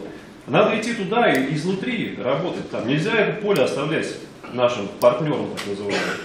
И пожелание к оппонирующей стране. Вы знаете, если вы говорите, что выборы не нужны, то какие у вас, можно вот более какие-то, ну, какие у вас другие-то есть варианты? Я пока толком не услышал. Может быть, я плохо слушал, но... Я конкретно сказал референдум сначала, народный, потом Земский собор. Конкретно сказал. Референдум о чем? О том, что такое, э, о легитимности нынешней власти. И все. Ну и что, мы сняли власть, а дальше что? Где ваша программа? Вот я, например, ничего не знаю, что вы предлагаете? У нас, у нас партия, у нас партия, у нас есть программа, да, мы, мы с чем-то, с чем-то идем вот честно. Я пока понял, что я просто прошу, вы когда будете кто-то следующий говорить, вы хотя бы назовите свои вот эти вот конкретные вещи. Я, я назвал тоже, извините. Все, спасибо. Все, спасибо. Теперь у меня Мямлин Кирилл. Слышно меня? Да. Э, Значит, э, если коротко о форме э, узурпации власти, значит, само существование партии и само их участие в системе значит, выборов и есть форма узурпации власти. Значит, элементарно посчитать то, что значит, фактически сегодня до выборов допущены значит, зарегистрированные партии, которые уже прошли значит, фильтр значит, парламентский, значит, э, те, которые э, значит, прошли кремлевский фильтр. Э, В результате что получается? Значит, по мажоритарке, по Москве, э, значит, прошло всего два человека, которые сумели набрать определенное количество голосов. Это так, ну, так, так- такая э, ирония, может быть, я специально сделал это госпожа Баронова и господин Лагеев. Значит, э, вот эти только два человека, которые набрали э, значит, э, необходимые 15 тысяч голосов. То есть фактически про- пройти, набрав значит, необходимое количество первичной поддержки, практически невозможно. Потому что Баронова пользовалась значит, деньгами Ходорковского, Лакиев, значит, он пользовался ресурсом одной из ветвей коммунистической партии. Все, значит, все остальные, значит, э, в том числе значит, и те, кто присутствует, э, значит, здесь вот, кто за выборы, шли от э, значит, партии. Но давайте просто посчитаем. Сегодня в, в партийных значит, структурах в России состоит не более 2 миллионов человек. Значит, таким образом, что получается? Значит, от 146,5 миллионов, ну там плюс- плюс-минус, это менее 0,7%. Значит, э, получается, что 0,7% населения имеет право избираться, быть избранными. Вот. э, Это, ну, э, по- по- помимо нарушения значит, всех принципов справедливости, это и прямое нарушение Конституции. Значит, это как бы один момент. Значит, второй момент. Значит, исторический парламент был инструментом достижения договоренности между партией королем, короля и партиями баронов. Значит, э, исследование э, 2014 года Грегори Кларка, Калифорнийский университет, и Нила Каменского, Лондонская школа экономики убедительно показали, что богатство и власть передаются исключительно по наследству. Э, Значит, в основе исследования лежал э, анализ фамилий студентов, которые поступали в Оксфорд и Кембридж значит, с 1170 года по 2012, а также замечательный а, а, значит, анализ э, актов завещания. Показал, что в этой системе си- си- э, социальный статус передается по наследству на, про- на протяжении более 8 э, столетий.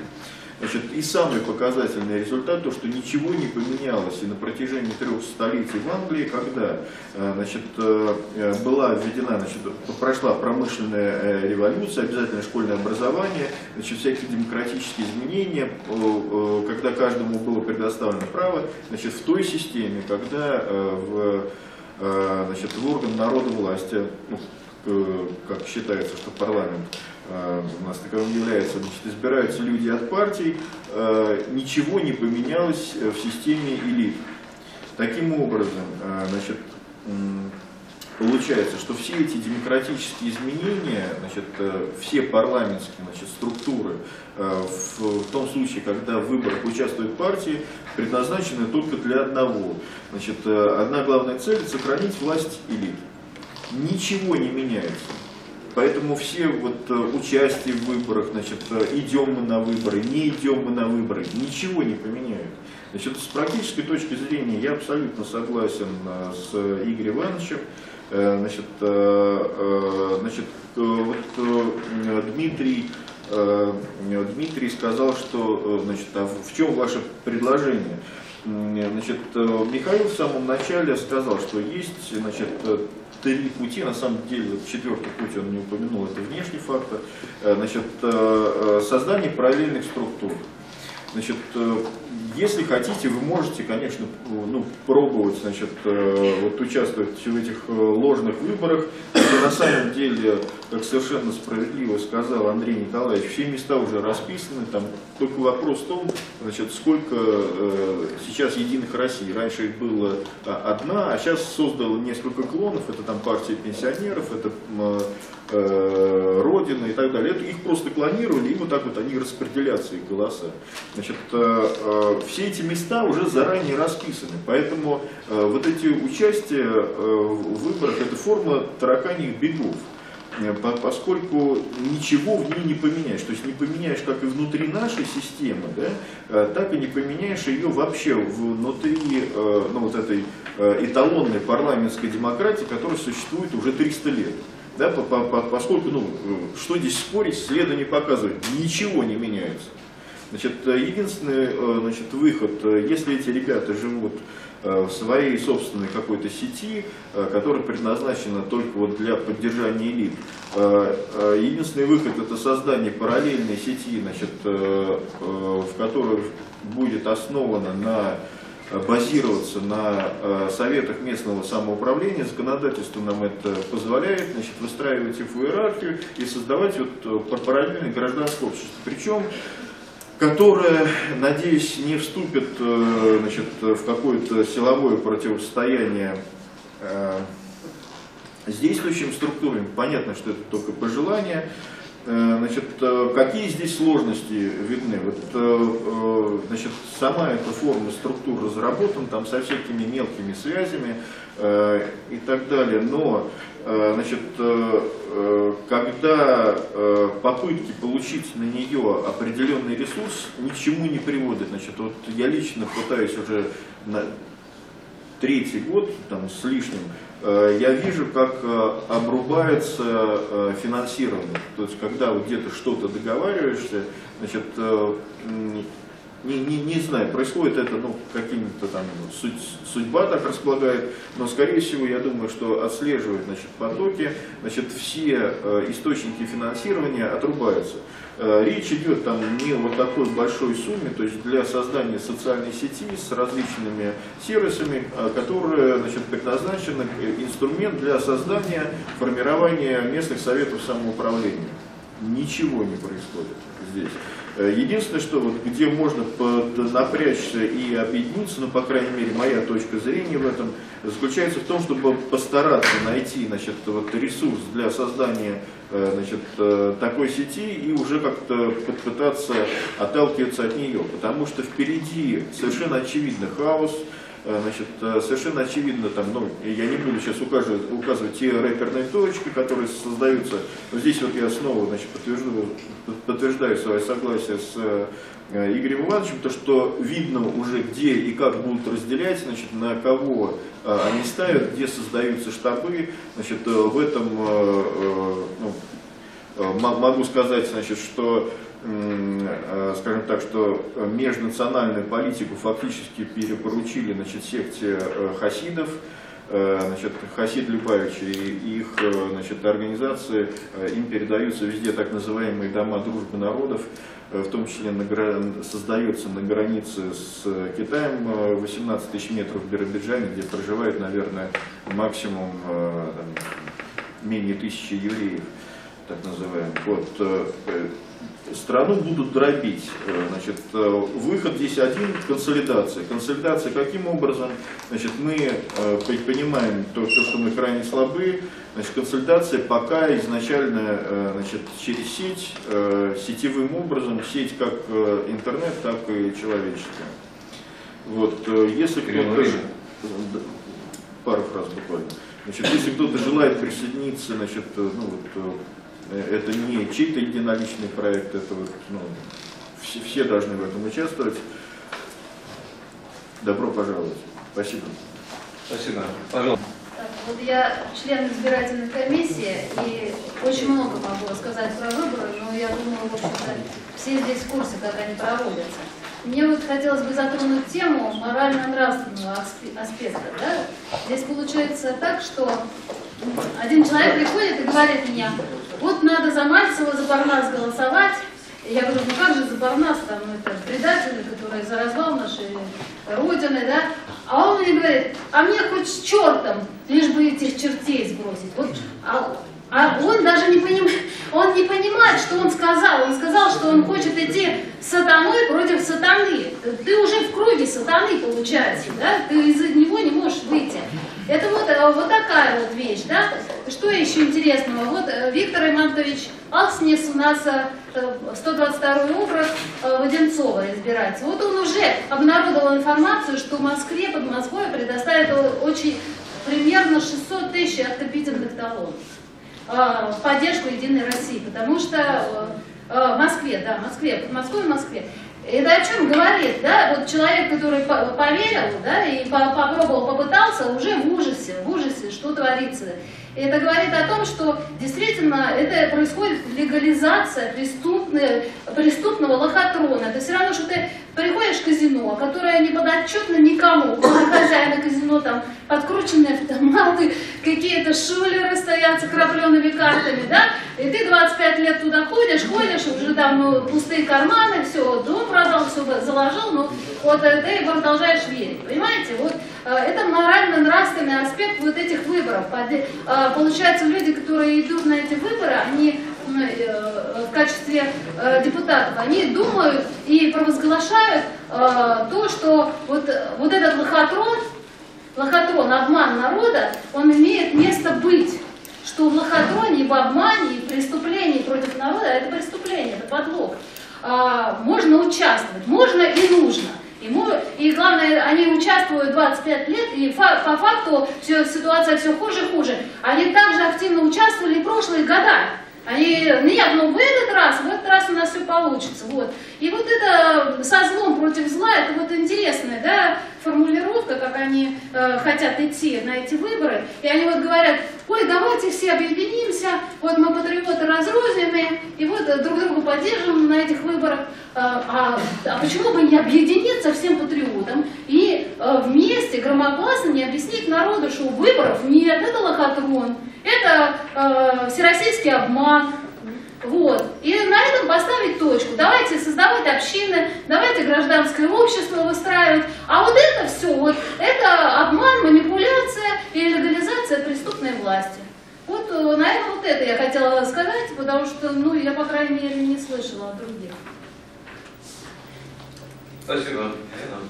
Есть из участников, кто не выступал и куда Тогда мы Андрею Николаевичу дадим слово. Я просто предлагаю не- некоторую реакцию на то, что было сказано.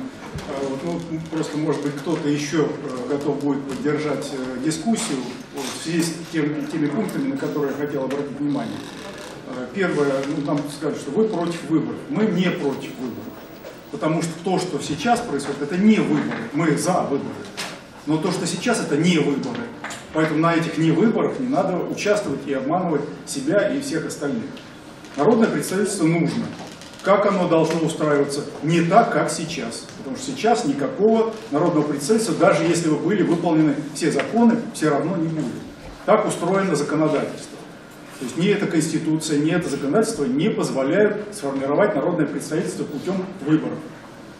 Или каким-то другим путем, не знаю, кооптации.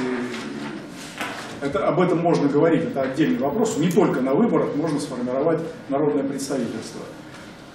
Э, Второе, э, о том, что мы, э, если мы не идем на выборы, мы дарим голоса Единой России. Это не так. Это, если вот примитивно мыслить арифметически, можно сказать, что так. Но смотрите, есть ли разница между тем, кто пришел на выборы, и тем, кто проголосовал за партии, не преодолевшие 5% г- барьер? Нет никакой разницы, потому что все равно перераспределение пойдет на тех же самых, на те партии, которые прошли этот барьер. Вы хотите, чтобы какая-то партия преодолела 5% барьер, вот партия зеленых, а что вы так доверяете, что она, она не является филиалом, э, филиалом Единой России? Или что те, кто попадет, перейдет этот, э, этот барьер, не станут э, членами Единой России? Так у нас есть самый, э, можно сказать, продвинутый опыт Родины. Там все в деталях как раз и показано, как это происходит. Вот получилось. Во-первых, э, заранее был сговор, это был, э, я это знаю достоверно изнутри, кремлевский проект. Они хотели что-то противопоставить КПРФ. Ну ошиблись, понимаете, вот ошиблись. Но эта ошибка стоила того, что как только Родина появилась в Думе, тут же несколько человек из фракции, те, кто прошли по спискам, они тут же оказались в Единой России. Как это может быть? Ну там известный там банкир Лебедев, мой однофамилец тоже такой деловой до сих пор депутат. Они сразу там оказались. Потом следующий, следующий вброс раскола. Да, давайте между лидерами сцепитесь. Одному одно пообещали, другое другое, другому другое. Они сцепились э, по поводу президентских выборов. Раскол идет. Потом внедрение, э, внедрение э, крота, который все это начинает рассыпать. А потом, наконец, скупка, скупка всего актива. Ребята, мы на следующих выборах дадим вам пройти. Вы только сдайтесь вс- всю инфраструктуру свою справедливой России. Они сдали. Я последний был, кто ушел из Родины. Они сдали все. Теперь появляется Родина, это вот э, еще одна заметка. Теперь появляется Родина, которая говорит, мы были в Государственной Думе. Да не вы были, вы, вот Алексей Журавлев, жалко, что Боброва ушла, информация для меня важная. Алексей Журавлев был организатором съезда, спро- вот этого так называемого объединительного съезда. Но это незаконное деяние, потому что никакого объединения законодательство не предусматривает. Роспуск и формирование новой партии. Роспуск, то есть был э, ликвидационный съезд. И им руководил, их, его организовал, вот э, реальным руководителем всего организационного процесса был Алексей Журавлев, который сейчас возглавляет Родину. Ну это же фальшивка. Это фальшивка. Ему э, за э, организацию вот всего этого безобразия, за скупку, за организацию скупки всего актива, ну там люди были слабые, я тоже видел, как, э, как их скупали. А, За это ему вот эти банкиры, которые все это профинансировали, подарили автомобиль там не меньше миллиона рублей ст- стоимостью. Я один раз в нем проехался, достоверно могу говорить, он сам хвастался. Вот мне дали за, за этот съезд. Поэтому э, масса есть инструментариев, которые все эти арифметические расчеты просто стирают мгновенно. По поводу, вот было сказано, вера во власть убита. Так и должно быть. Вера в ложных богов должна умереть. И мы должны убивать эту веру в то, что вот эта власть вообще хоть что-то будет делать для, для народа. Эти ложные боги должны быть э, низвергнуты. Там с КПРФ. Никаких альянсов с КПРФ не может быть. Не может быть, потому что эти люди лгут всегда. Зюганов лгал от самого момента, когда он возглавил эту структуру.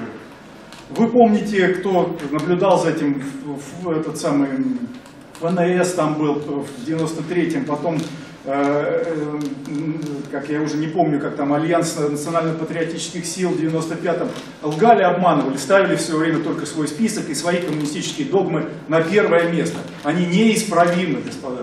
И человек, назвавшийся коммунистом, неисправим, абсолютно. Поэтому какой может быть, я э, абсолютно как монархист, я против любых альянсов с какими-либо социалистами. Социальность, да, социализм нет. Социализм это сразу убийство всего русского, всего национального. А, Нам было тут сказано, что народ как сброд, они все равно тащатся на эти выборы, это вот Боброва сказала. Нам надо научить бюджетников не ходить на выборы. Их заставляют, надо их научить не ходить. Это не расслабление, это волевой акт. Мы к этому э, людей склоняем, к волевому акту. Не бояться ничего, ни начальников, ни э, там, увольнений и так далее. И не ходить на, на выборы, которые выборами не являются. Дальше было сказано вот о том, что партия снята ПВО за, э, скорее всего так оно и есть, я думаю, за э, словосочетание «русский миллиард». Партия «Дело» тоже абсолютно лояльная к ныне действующей власти, за одно только слово «русские», там где-то у них в программе против нее уголовное дело было возбуждено, и на выборы она не пошла. Поэтому это репер. Как только вы говорите «русские», вы на выборы не пойдете, ни под каким видом. Я не знаю, чем там э, думали в, в значит, э, партии Великое Отечество. Вот как только они это слово применили, они исключены из э, списка для голосования. И я думаю, что раз, раз и навсегда. Так, между делом Савдеев никаких книг не писал, предисловие к одной его книжке написал.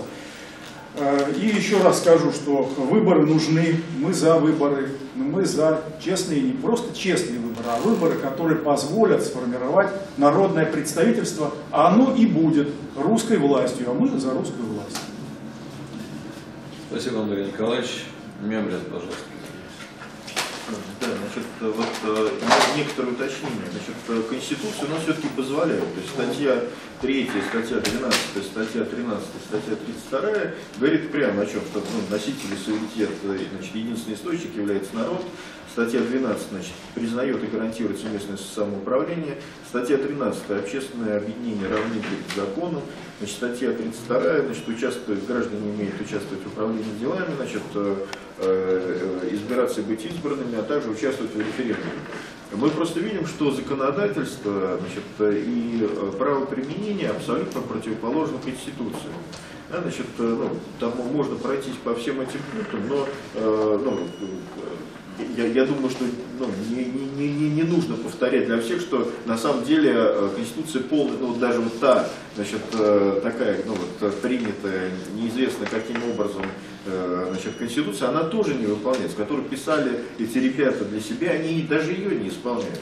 Значит, э, когда они печатают законы по 160 законов в день, значит, и принимая их со скоростью 3,5, э, один закон в 3,5 минуты, ну, э, э, э, э, вот это образование, которое называется Государственной Думой, ее невозможно контролировать.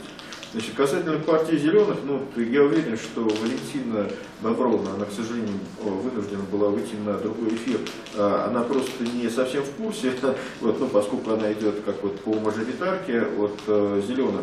Но э, там достаточно посмотреть, с кем она спонсировалась, эта партия. Значит, Тарасов, потом, значит, Лев Черной, э, значит, потом тот же самый э, значит, банкир Лебедев, потом э, некие э, Качмазовы, э, там тоже куча уголовных дел, это группа СОК, значит, ну и сегодня Митвой.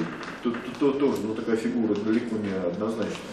Значит, что касается КПРФ, значит, КПРФ, вот они, видимо, ну, как- как-то они что-то декларируют, но когда наступают самые ответственные минуты, они сдают все, да, то есть вот как э, декларировал, э, я помню, значит, э, э, Геннадий Андреевич, значит, говорит, вот самое главное, что я делаю, я сохраню, значит, значит, партию. Значит, таким образом, значит, э, это было предательство 93 года, да, когда, значит, э, ну, кто-то говорил, значит, идем брать э, Останкина, э, значит, а он призывал, значит, где-то сидел в студии и призывал, значит, э, э, ни- ни- ничего не делать. Значит, 96 год на импичменте Ельцина, э, пардон, на выборах Ельцина, когда фактически КПРФ выиграла, но, значит, они сдали свою победу. 99 год, когда, э, значит, не смогли реализовать свое преимущество и сдали тогда э, генерала Рохлина, Э, в 99 году проголосовали, вот договорились с ним, пожали руки, значит, э, это, по-моему, 18 апреля было, а 19 апреля они его сдали, значит, когда голосовали за снятие его э, с, э, значит, с председателя комитета по обороне и безопасности. Значит, это две- две- две- 2000 2002 год, это эпопея, когда э, КПРФ фактически не поддержали значит, закон о национализации Центрального банка, превращении его в государственную структуру. Там 2013 год, э, когда значит, э, они клялись, то, что мы не будем голосовать за Набиулину, значит, ни в коем случае значит, в результате против из 91 члена, э, члена фракции проголосовало э, 14 человек только. Значит, э, это голосование за Платон и так далее. То есть, когда нужно, значит, э, э, когда позволяет, они могут говорить там все, что угодно, там, э, рассуждать про национализацию и так далее. Если вы когда-нибудь послушаете э, речи э, Зюганова, возьмите там 93 год, например, и, и вот ну, какое-нибудь недавнее выступление, они ничем не отличаются вообще. То есть он просто повторяет какой-то речитатив, значит, ну, любой стишок выучите его и вот повторите. Те же самые слова, те же самые фразы абсолютно. Значит, э, а- они просто, ну, я даже был на каком-то ми- митинге 7 ноября, вот мы туда по- пошли, значит, ну, ка- казалось, что вот можно альянс образовать. Они скандировали, значит, со сцены э, рабочим винтовка, буржуям веревка. Я еще тогда подумал, а как им это позволяет? То есть на- нас бы уже давно бы закрыли бы. Значит, ну вот они так это существует, они говорят то, что они хотят услышать, но в самые нужные моменты они просто сдают. Вот сдают, поскольку э, ну, э, они фактически занимают э, значит, э, ну, такие не- не- нештатные сотрудники администрации президента. Вот, поэтому э, еще раз подтверждаю значит, позицию, значит, и, э, и свою личную позицию, и консолидированную позицию э, Русского национального фронта и организаций, которые в него входят. Ходить на эти выборы невозможно. То есть это просто э, получается так, что если они крадут власть, получается мы должны значит, э, вот, легитимизировать их э, э, значит, вот это уворованное. Нельзя этого делать. Значит, ну, по- по- по- поскольку значит, ну, сокращая значит, три пути, значит, а вооруженный путь, мы говорим, что это не наш путь сейчас, значит, выборы и создание значит, параллельных структур самоуправления, ставка сейчас получается вот единственная, значит, законная, э, значит, и чтобы потом нас не притащили по 282 статье, это создание параллельных, не параллельных структур, а просто создание структур самоуправления. Значит, базироваться на них, хотя бы консолидировать у людей на местах, то есть в случае хаоса, когда э, люди знали, э, как организовать значит, ну, вот, э, безопасность на веренной им территории, как значит, постараться обеспечить системы жизнеобеспечения, чтобы они продолжали действовать, значит, ну, там, минимальное медицинское обслуживание, продукты и так далее. Значит, э, и ну, по- постараться из этого вырастить то самое общество, которое было бы ответственно за себя и за страну. Спасибо. Спасибо. Игорь Иванович Стрелков, пожалуйста. Я хотел добавить еще несколько слов э, касательно уже упомянутого здесь на круглом столе э, выступления на дебатах Вячеслава Мальцева от Парнаса. Вот мы имеем просто наглядный пример того, как нынешняя власть, и особенно либералы в этой власти, создают искусственно ту силу, которая подменит нас. Фактически Мальцев озвучивает наши, во многом наши лозунги, если не говорить о том, что он готов сдать Крым, и никто, заметьте, его за это не наказывает. Если он говорит, что надо Донбасс немедленно вернуть Украине, что мы должны заключить союз с Западом, в остальном он озвучивает э, программу русских националистов. Ну, там и Демушкин рядом ошивается, насколько я помню. Фактически, вот мы имеем в виду очередной шулерский трюк. Вам надо национализм? Вот, пожалуйста, специально обученные люди. В. Поэтому, если мы имеем хоть какие-то иллюзии по поводу того, что нынешняя власть даст нам где-то хоть пискнуть, это она даст пискнуть своим марионеткам. Или людям, которые будут принимать участие в будущем Майдане, поскольку я уверен, что Демушкин и Мальцев это фактически э, уже та же самая схема, которая использовалась в 2014 году на Украине, в Киеве. Единение ультралибералов с ультранационалистами. Вот Уже все готовится, все на наших глазах. А мы будем какие-то иллюзии испытывать по поводу выборов. В то время как наши враги фактически уже готовят инструменты для будущего переформатирования всего общества, мы будем пытаться играть по старому формату, в котором у нас никаких шансов нет. Я абсолютно согласен с Кириллом Евгеньевичем по поводу того, что необходимо создавать параллельные структуры, которые не будут угрожать власти сейчас, которые не могут, э, которым не прищешь статьи Уголовного кодекса или административного, но которые будут готовы поддержать государство, когда его будут сознательно и целенаправленно обрушивать. Я так думаю, что уже в будущем году это процесс обрушения пройдет. Если к этому моменту мы, патриоты, националисты, не сможем создать таких структур, то окажемся, как и на этих выборах, посторонними созерцателями. Либо будем вынуждены, у кого хватит совести, вернее ее отсутствие, примкнуть к тем, кто будет активно рушить государство. Ну, я так полагаю, что людей, подобных Демушкину и Мальцеву, среди нас все-таки нет. Спасибо. Спасибо. Ну, я хочу добавить э, как раз по поводу выступления Мальцева. Э, Русский национальный фронт принял заявление э, по поводу, что господин Мальцев себя представил как единственного лице, так сказать, национальных патриотов, который имеет право делать такие заявления от имени всех национальных патриотов. И соответствующим образом я совершенно точно могу сказать, что то, что Игорь Иванович заявил о со- состыковке вот именно для того, чтобы подготовить э, Майдан э, будущих событий, в принципе. Я тоже пару слов добавлю. Такая ремарочка. Значит, э, по КПРФ вы забыли упомянуть, что КПРФ э, предала Илюхина после того, когда он прочитал э, приговор, э, озвучил приговор военного трибунала нынешнему президенту, считать врагом народа. Это все забыли, забыли почему-то. 2009. Да, в 2009. И, значит, после этого Илюхин очень недолго прожил и скончался от сердечной недостаточности. Сейчас так принято, это сейчас так называется. Дальше. Э, Игорь Всеволодович э, забыл упомянуть, что э, значит, э, Мальцев изначально был принят э, в компанию э, едеросов, я их, извините, едерастами называю.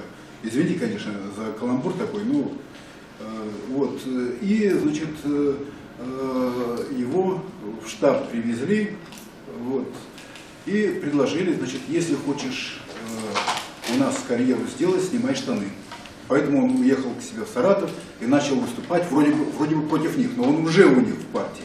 Вот и все.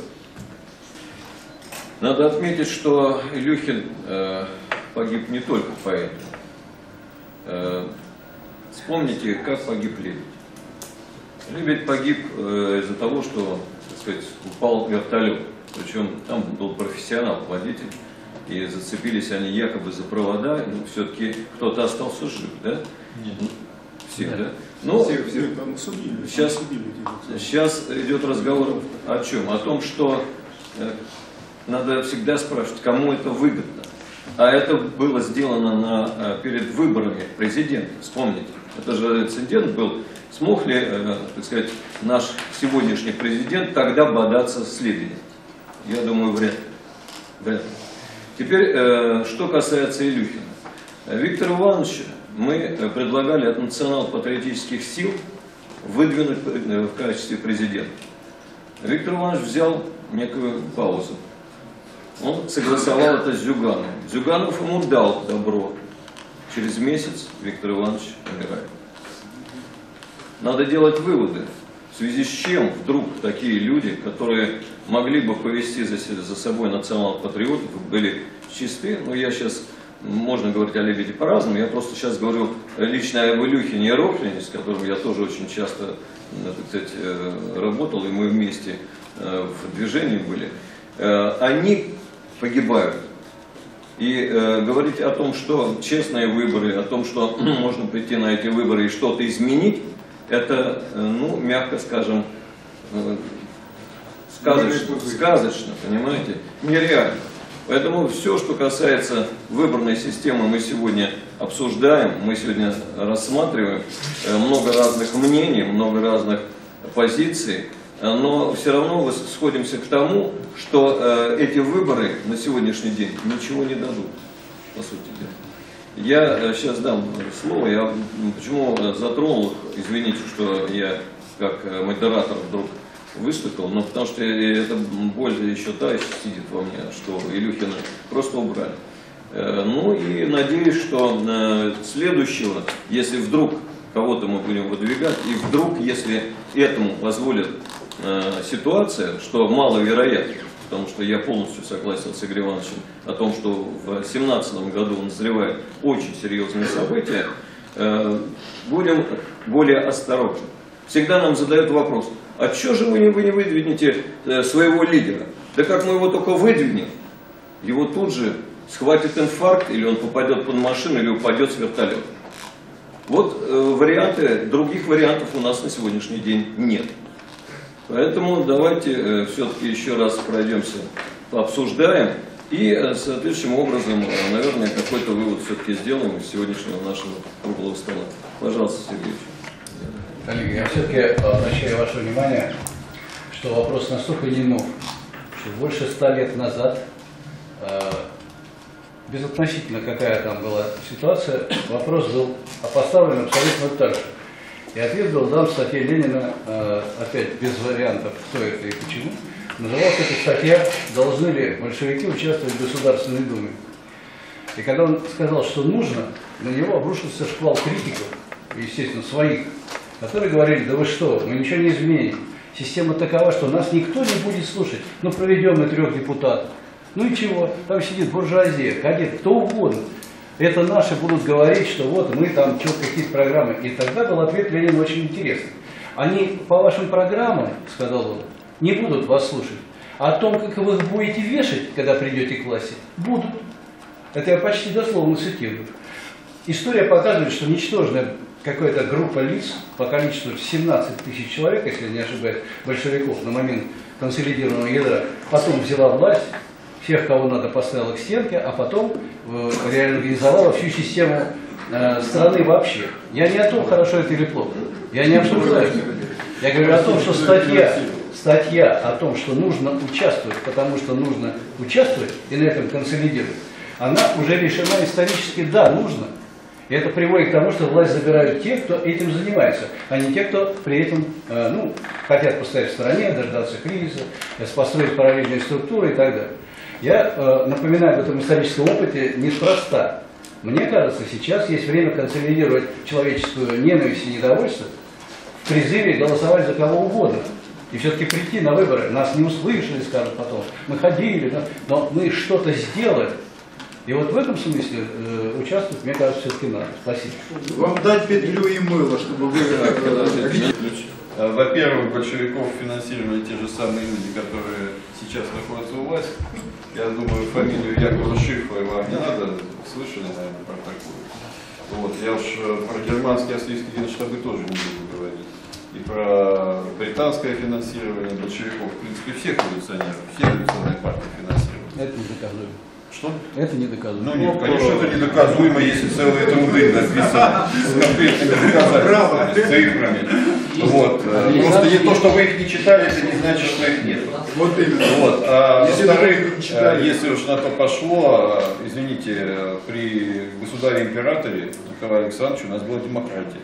И там действительно, если по закону депутату полагался иммунитет, то он ему полагался, и он мог говорить пока до определенных рамок, пока не нарушал закон. И уж извините, если его выбирало население, то, извините, избирательные комиссии имперские честно говорили, что этот человек выбран, и пропускали его в Государственную Думу. Демократии, извините, сейчас этого и в помине нет. И нам, извините, надо, я не знаю, это будет великое счастье, если мы вернемся к тому уровню демократии, к тому уровню земств, которые у нас существовали с 905 по 17 год. Кто не спорит.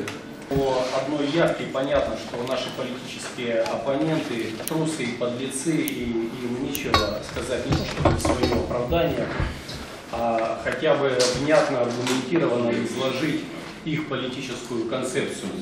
Тут уже давались характеристики всем этим завсегдатаем стен Государственной Думы, Единая Россия, КПРФ, ЛДПР и э, прочих, и нет никакой необходимости дополнительно их как-то охарактеризовывать, юридически квалифицировать. Это все приспособленцы одной единственной партии, которая украла белогвардейский лозунг за единую и неделимую, а вообще политические партии, они должны в своем названии и в аббревиатуре нести какой-то политический смысл, идеологию коммунистическую, либерально-демократическую, национал-социалистическую и прочее, кому как нравится. Что такое справедливая Россия? Это облако в штанах. Пенсионеры за справедливость. А за что они должны быть? За низкие зарплаты, за нищенство. Это полный этимологический и юридический абсурд.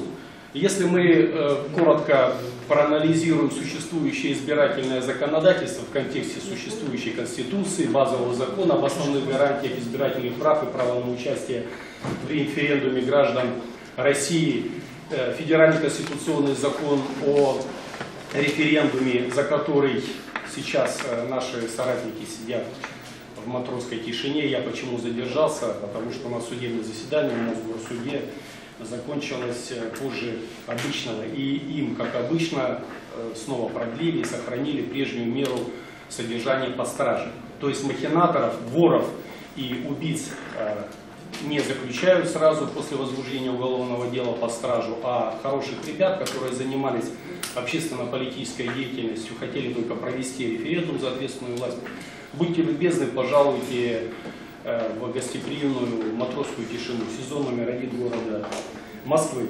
Так вот, выборы незаконно перенесли с 18 декабря на 18 сентября. Для чего это делается всякий раз, такие поправки в закон о Государственной Думе? Чтобы после э, летнего периода застать избирателей потенциальных врасплох, чтобы они поменьше смотрели даже каких-то дебатов, читали, а просто пошли и по наитию уже по накатанной голосовали. Это есть один факт. Подтасовок и мошенничества. Если вы вспомните, давно убрали графу против всех. Чтобы вы шли и за кого-то голосовали. Здесь правильно говорили, проголосуйте за любую другую вам понравившуюся якобы партию, все равно эти голоса э, при, и при ненаборе этими партиями 5% количества, они распределятся в пользу тех партий, которые этот барьер преодолели. Нет порога явки. Раньше он хоть существовал, там 25%. Потом его отменили. Сейчас она формально существует, это при внесении изменений в Конституцию и при проведении референдума. Но у нас референдума не было с 93 -го года, но и то он прошел незаконно, потому что не было 50% избирателей. И даже из этих пришедших менее 50%, 50% плюс один голос не проголосовали за действующую Конституцию. Поэтому она изначально базовый закон, имеющий главную юридическую силу, незаконен. Уже, уже не говоря о том, что было создано несколько конституционных а, групп, которые скроили эту конституцию, скомпилировали с американской и с французской все эти там пресловутые разделения властей и прочее, которые у нас по факту не существуют. Исполнительная власть под себя все подмяла. Изменили э, законодательство политических партий, доведя его до абсурда что имея только 500 членов, можешь зарегистрировать партию. Для чего это сделано? Опять, чтобы нарастить вот этот хаос, сумятицу в, э, в умах людей, и каждый бы там э, лидер небольшой, фюрер, как он себя представляет, э, презентовал себя как руководителем партии. Но где из этих многочисленных партий, какие из них были допущены до участия в Государственной Думе? Да, никаких. Парнас для чего и партия Роста допущены, чтобы показать, что вот якобы у нас есть бизнесмены, партия Роста. Но вы еще растите тогда из своих штанишек, штанишек вырастите, а потом уже в Госдуму дерзайте. И этот э, невнятный их руководитель, который является так называемым омбудсманом, омбудсманом по делам э, предпринимателей и бизнесменов, тоже облако в штанах.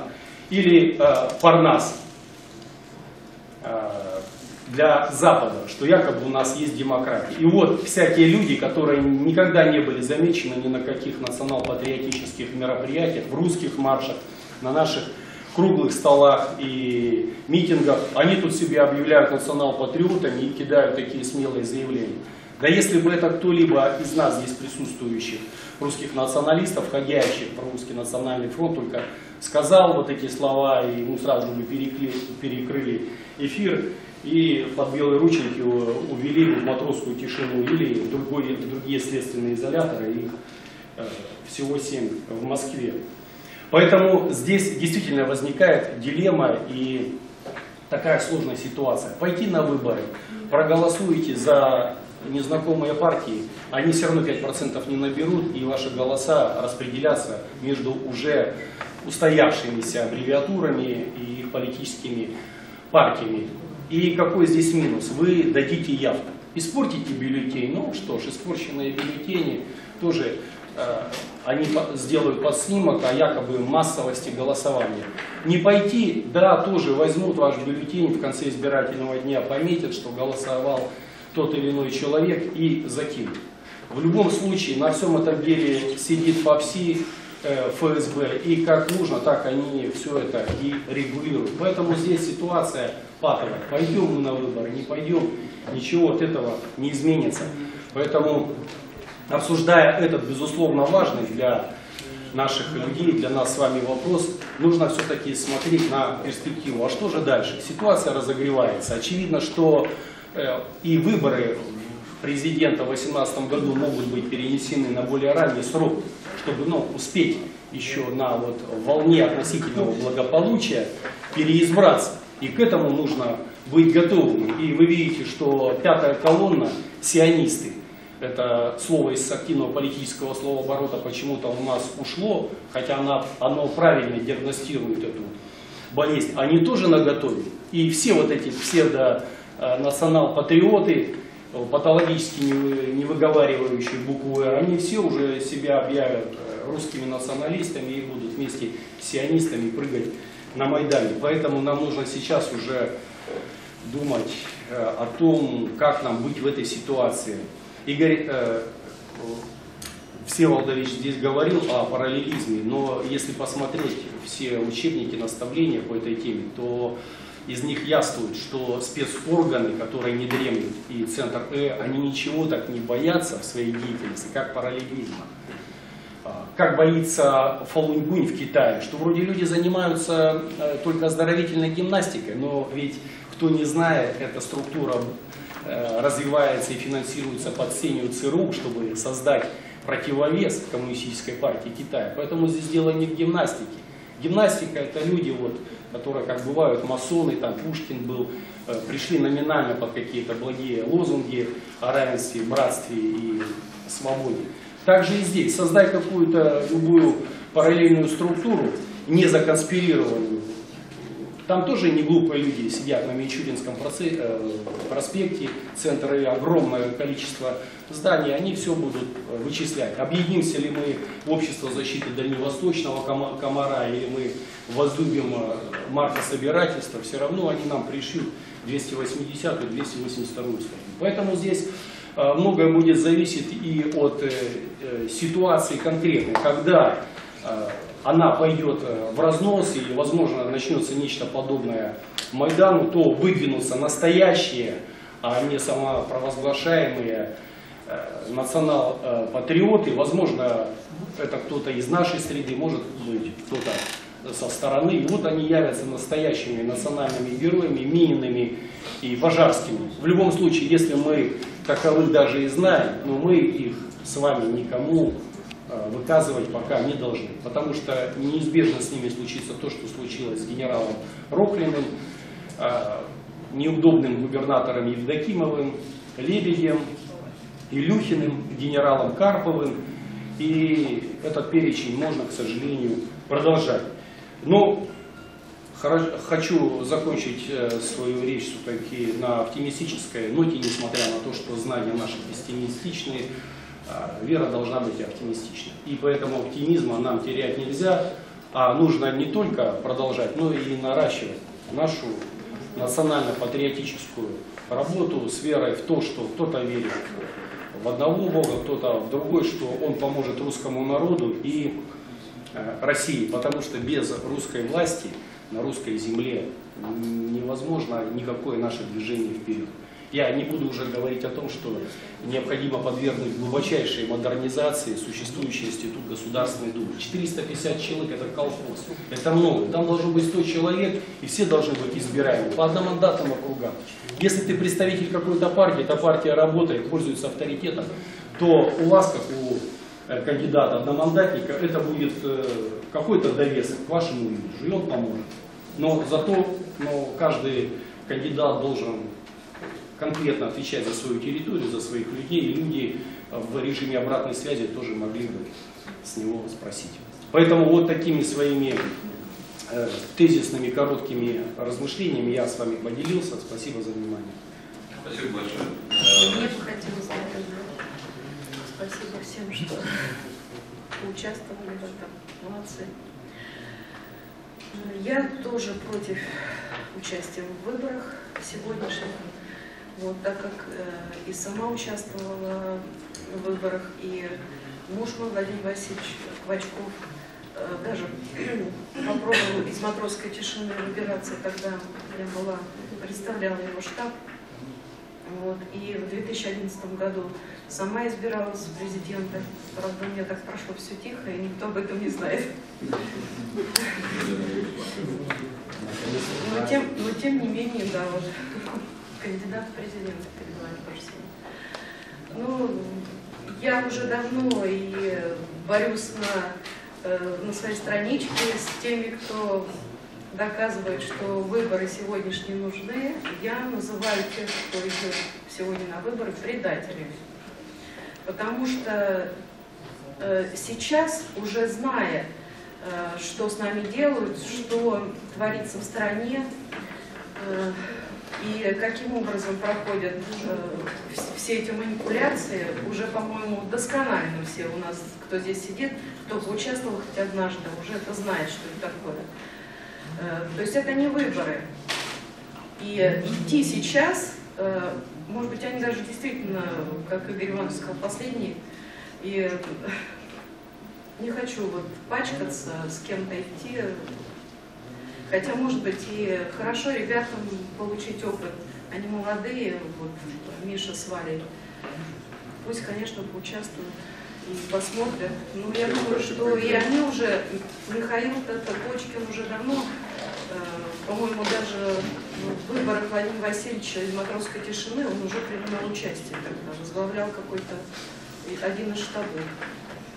Вот. Я тогда с ним познакомилась. Совсем молодой, и он уже давно занимается, уже знает, что это такое. Идти сейчас, зная, что это такое, что это за выборы, считаю это просто предательством. У меня такой лозунг на моей страничке ВКонтакте, что пока Квачков сидит на зоне, мы на выборы не ходим. По-моему, Кирилл Мямлев придумал. Спасибо ему. Ну вот, то, что хотел добавить, наверное. Признаюсь. Спасибо сегодня неоднократно прозвучало, что э, народ уже потерял всякое доверие там, и так далее. Причем все стороны с этим согласны абсолютно. Вот. Но неверие народа, оно э, трансформируется в уныние. Уныние трансформируется в упадок, это однозначно, а упадок ведет к деградации и к смерти. Так вот, э, все это, э, вся эта динамика, вот если пользоваться медицинской терминологией, это отрицательная динамика, которая ведет фактически э, значит, к уничтожению государства и нашего народа, нашей нации.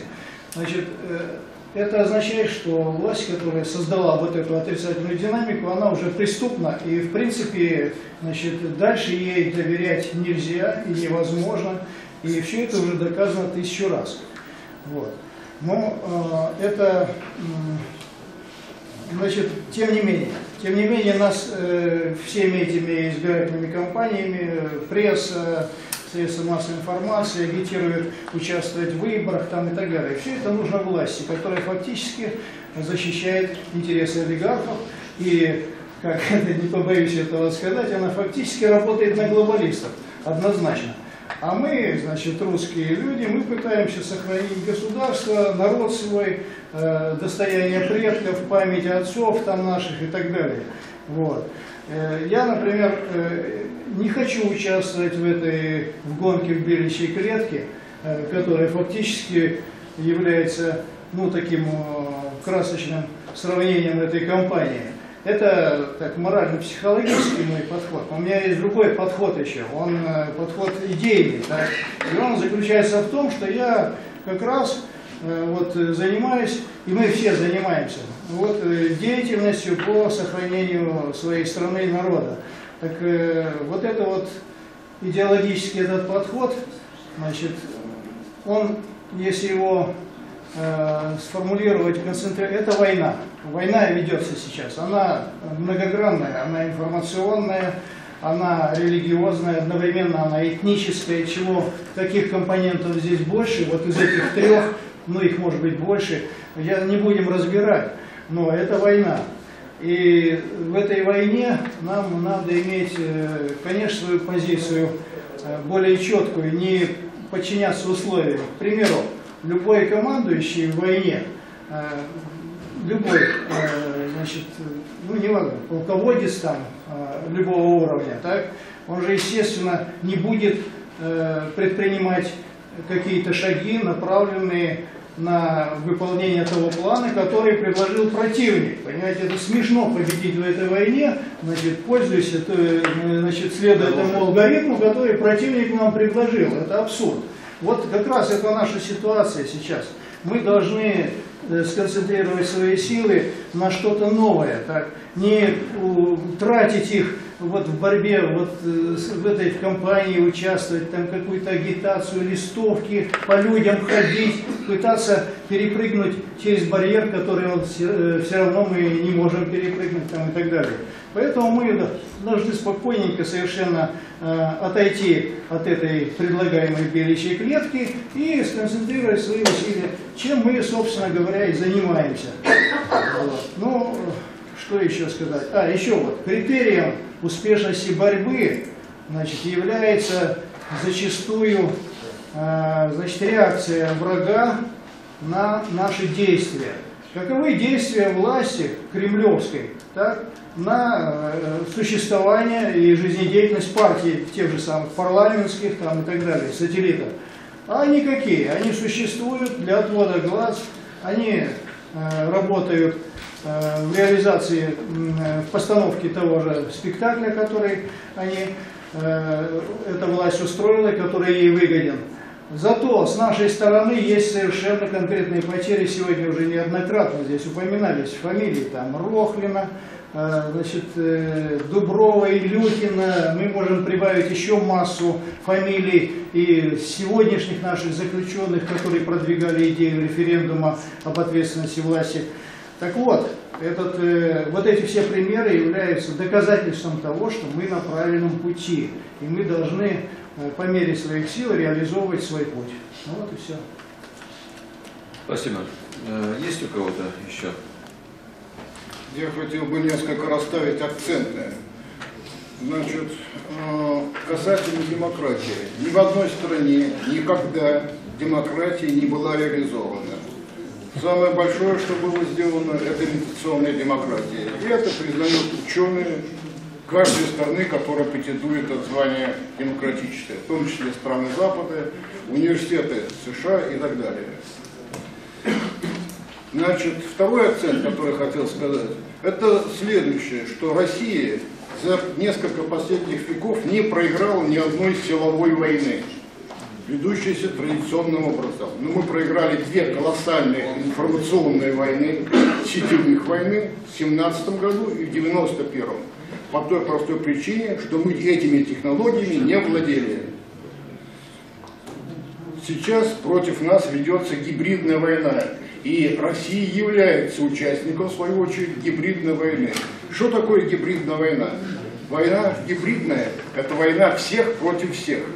То есть правительство воюет не только с, с противником, оно воюет и с теми, кто не участвует в конфликте, оно воюет с союзниками и оно воюет с собственным государством. Это, так сказать, стратегия гибридная, одно из направлений гибридной войны. И мы являемся сейчас участниками этой войны. Цель войны, информационной войны, за мировоззрение. Программы, которые составляются, они направлены на замещение мировоззрения, мозгов, понятий, целей жизни и так далее противника. То, что мы сейчас имеем сказать, по всему миру. Лидер Соединенные Штаты. Технология оболвания через СМИ и так далее, это небольшие элементы, сегменты этой войны. У нас сейчас идет война на информационном поле. Информация является одним из важнейших составляющих войны. Она идет впереди боевых действий, впереди финансовой войны, впереди там, я не знаю, идеологической войны, чистой идеологической войны. Идет информационная война. Поэтому любое присутствие на информационном поле является, ну так скажем, участием в сражении. И чем больше э, информации идет через какой-то источник, воспринимаемый обществом, то тем мощнее этот источник. Когда побеждает оппозиция, когда поток информации через какую-то организацию, воспринимаемой информации, превышает поток э, официальных структур. Как только этот барьер перешел, начинается изменение мировоззрения общества. Вот это является целью гибридной войны. Все оранжевые революции построены на этом принципе. То, что произошло в Ро- в России в 91 году, то же самое. Произошло то, что называют на Западе замещение сознания. Верхушка КПСС стала действовать точно так же, как, я не знаю, какой-нибудь ведущий э, фабриканты. Произошло изме- изменение сознания. В окружении Путина полно людей, которые прошли такую обработку и придерживаются этой точки зрения. Поэтому наша задача генерировать поток воспринимаемой информации. Чем больше он, тем сильнее мы. Мы очень плохо используем современные технологии. Я думаю, что вообще говоря, постольку, поскольку мы претендуем на какие-то такие серьезные вещи, людям стоит посмотреть, что это такое, что такое гибридная война, что такое сетевая война, что такое информационная война, и попробовать по мере возможности использовать эти технологии. Если мы этого не сможем сделать, мы так и будем обсуждать, да, мы за- заверно проиграем. Как победить? Юрий Александрович, спасибо. Василий Александрович. Добрый вечер, дамы и господа. А, Василий Павел, имперское движение, Московское отдел. А, Ну, что касаемо, э, так сказать, так называемых выборов, а, вот, так сказать, э, Юлия Валентина ушла, хотелось бы, так сказать, э, рассказать о неком опыте, но не своем, а э, лидера э, Ронса Артемова э, Игоря Владимировича, который э, значит, в Покрове Владимирской губернии в свое время э, там, в течение нескольких лет переизбирался в законодательное собрание. Да, он, э, так сказать, пытался м, там, состав- значит, составлять некие законы там, в социальной сфере, в политической, вот, но э, он ни один из них не мог продвинуть. Даже на том муниципальном уровне, уж не говоря э, о более высоких. Да, и в итоге, э, значит, э, там, всей его деятельности он пришел к выводу, что э, изменить можно только лишь сломав создавшуюся э, политсистему. Вот, поэтому, э, если кто-то еще питает иллюзии по поводу того, что э, если это невозможно на муниципальном уровне, то как это возможно на федеральном, да, или как они там э, любят говорить, э, так сказать, э, э, там, Государственной Думе. Вот. Это, по-моему, э, иллюзии настолько, э, так э, перехлестывают, да, что э, через край. Вот. А теперь по поводу, а что же, собственно, тогда действительно на каких началах да, мы должны выстраивать, собственно говоря, свою позицию. Вообще, э, так сказать, э, мы национал-патриоты, да, мы обычно так говорим, вот, но при этом как-то забываем вообще о том, э, так сказать, какую вообще традицию мы несем, да, на что мы э, направлены, нацелены, да, вот, и э, здесь получается такая, ну скажем так, у нас в одном лагере получается как бы две силы, да, те, кто называет себя русскими патриотами, вот. и вторая, да, которая тоже называет себя русскими, но, сожалению, ни по мировоззрению, да, ни по своему сознанию ими не являются, а вот некие такие нам советско-либеральные, э, значит, и выдают это, пытаются выдавать это за русскость. И поэтому мы и получаем вот эти два э, как бы, противоречивых таких решения. Да? То есть русские патриоты говорят, что нельзя э, получить какие-то национальные дивиденды, да, там, продвинуться в условиях заведомо не русских, а гособразования. Да? Это, это наследие советского государства. Вот, поэтому, э, так сказать, надеяться на то, что э, мы там чего-то сможем получить, вообще невозможно. А вот эта часть, она надеется, потому что она так воспитана, ее так образовали, ее так воспитали.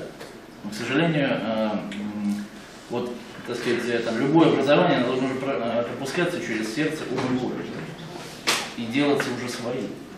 Получается, люди, э, так сказать, каким-то образом, э, не пропустив этого через себя, соответственно, и не стали.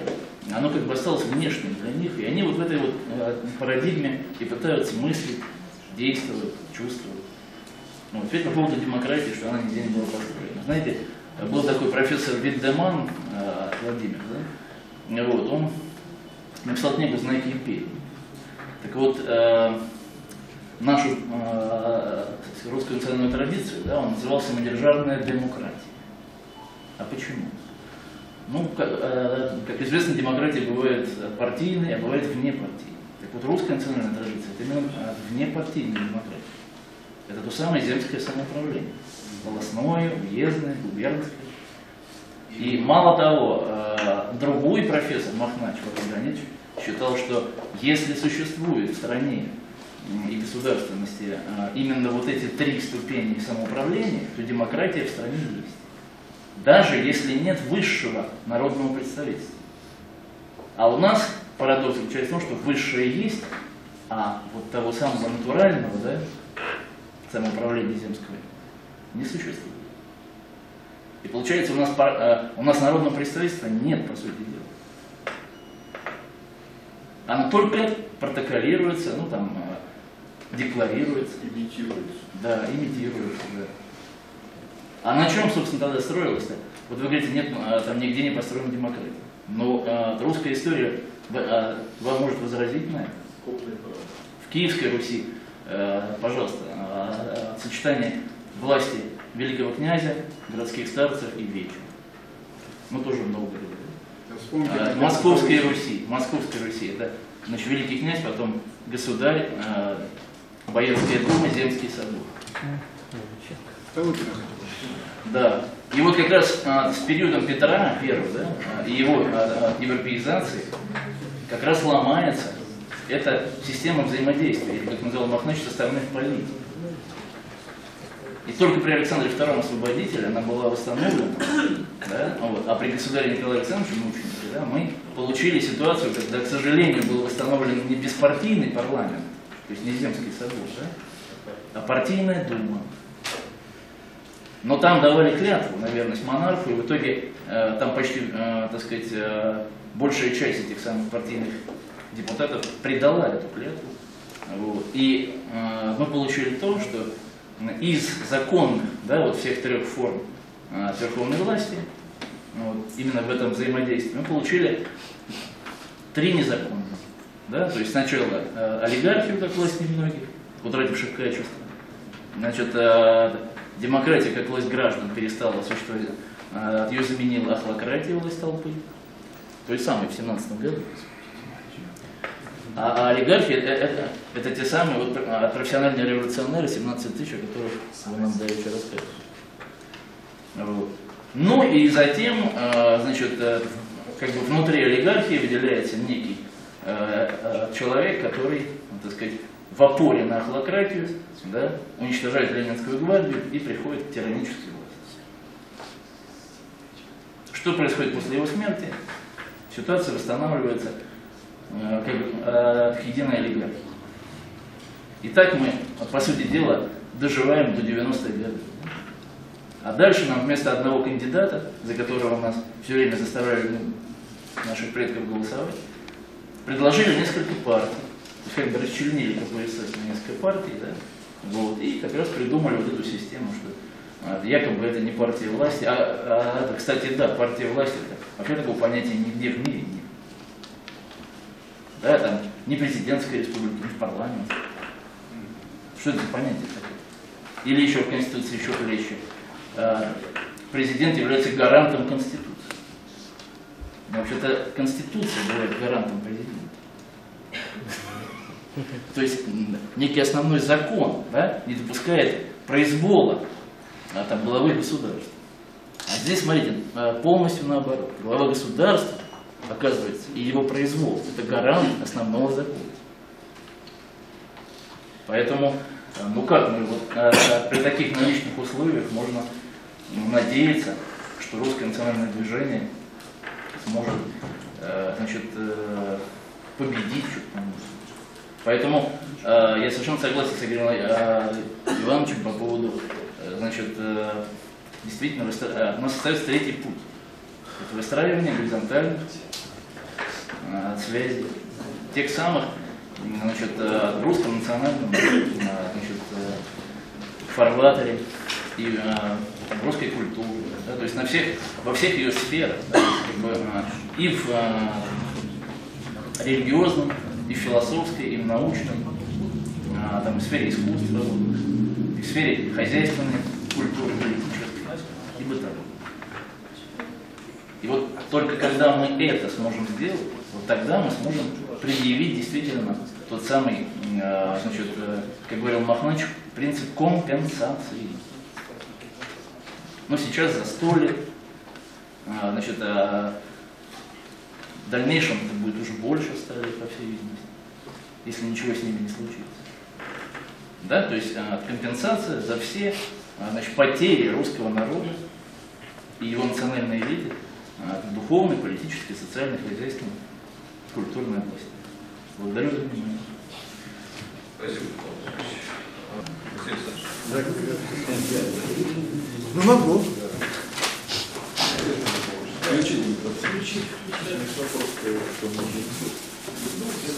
Ну, как вы знаете и помните, я представляю ту часть России, в которой абсолютное большинство и проживает в селах, деревнях и малых городах России. Нас там почти 90 миллионов человек и оставшихся 50 где-то 6 больших городах живет. Э, большинство нашего населения представляет собой абсолютно русское население. И я всегда на это обращал внимание, что нам ничего не стоит, чтобы в России была русская власть. Просто русские должны прийти и проголосовать хотя бы в тех условиях, что есть, один раз за русскую власть. И завтрашнего дня она должна бы у нас уже быть, как такова. Это то, что из большинства. Из последних, так сказать, э, данных нашей статистики.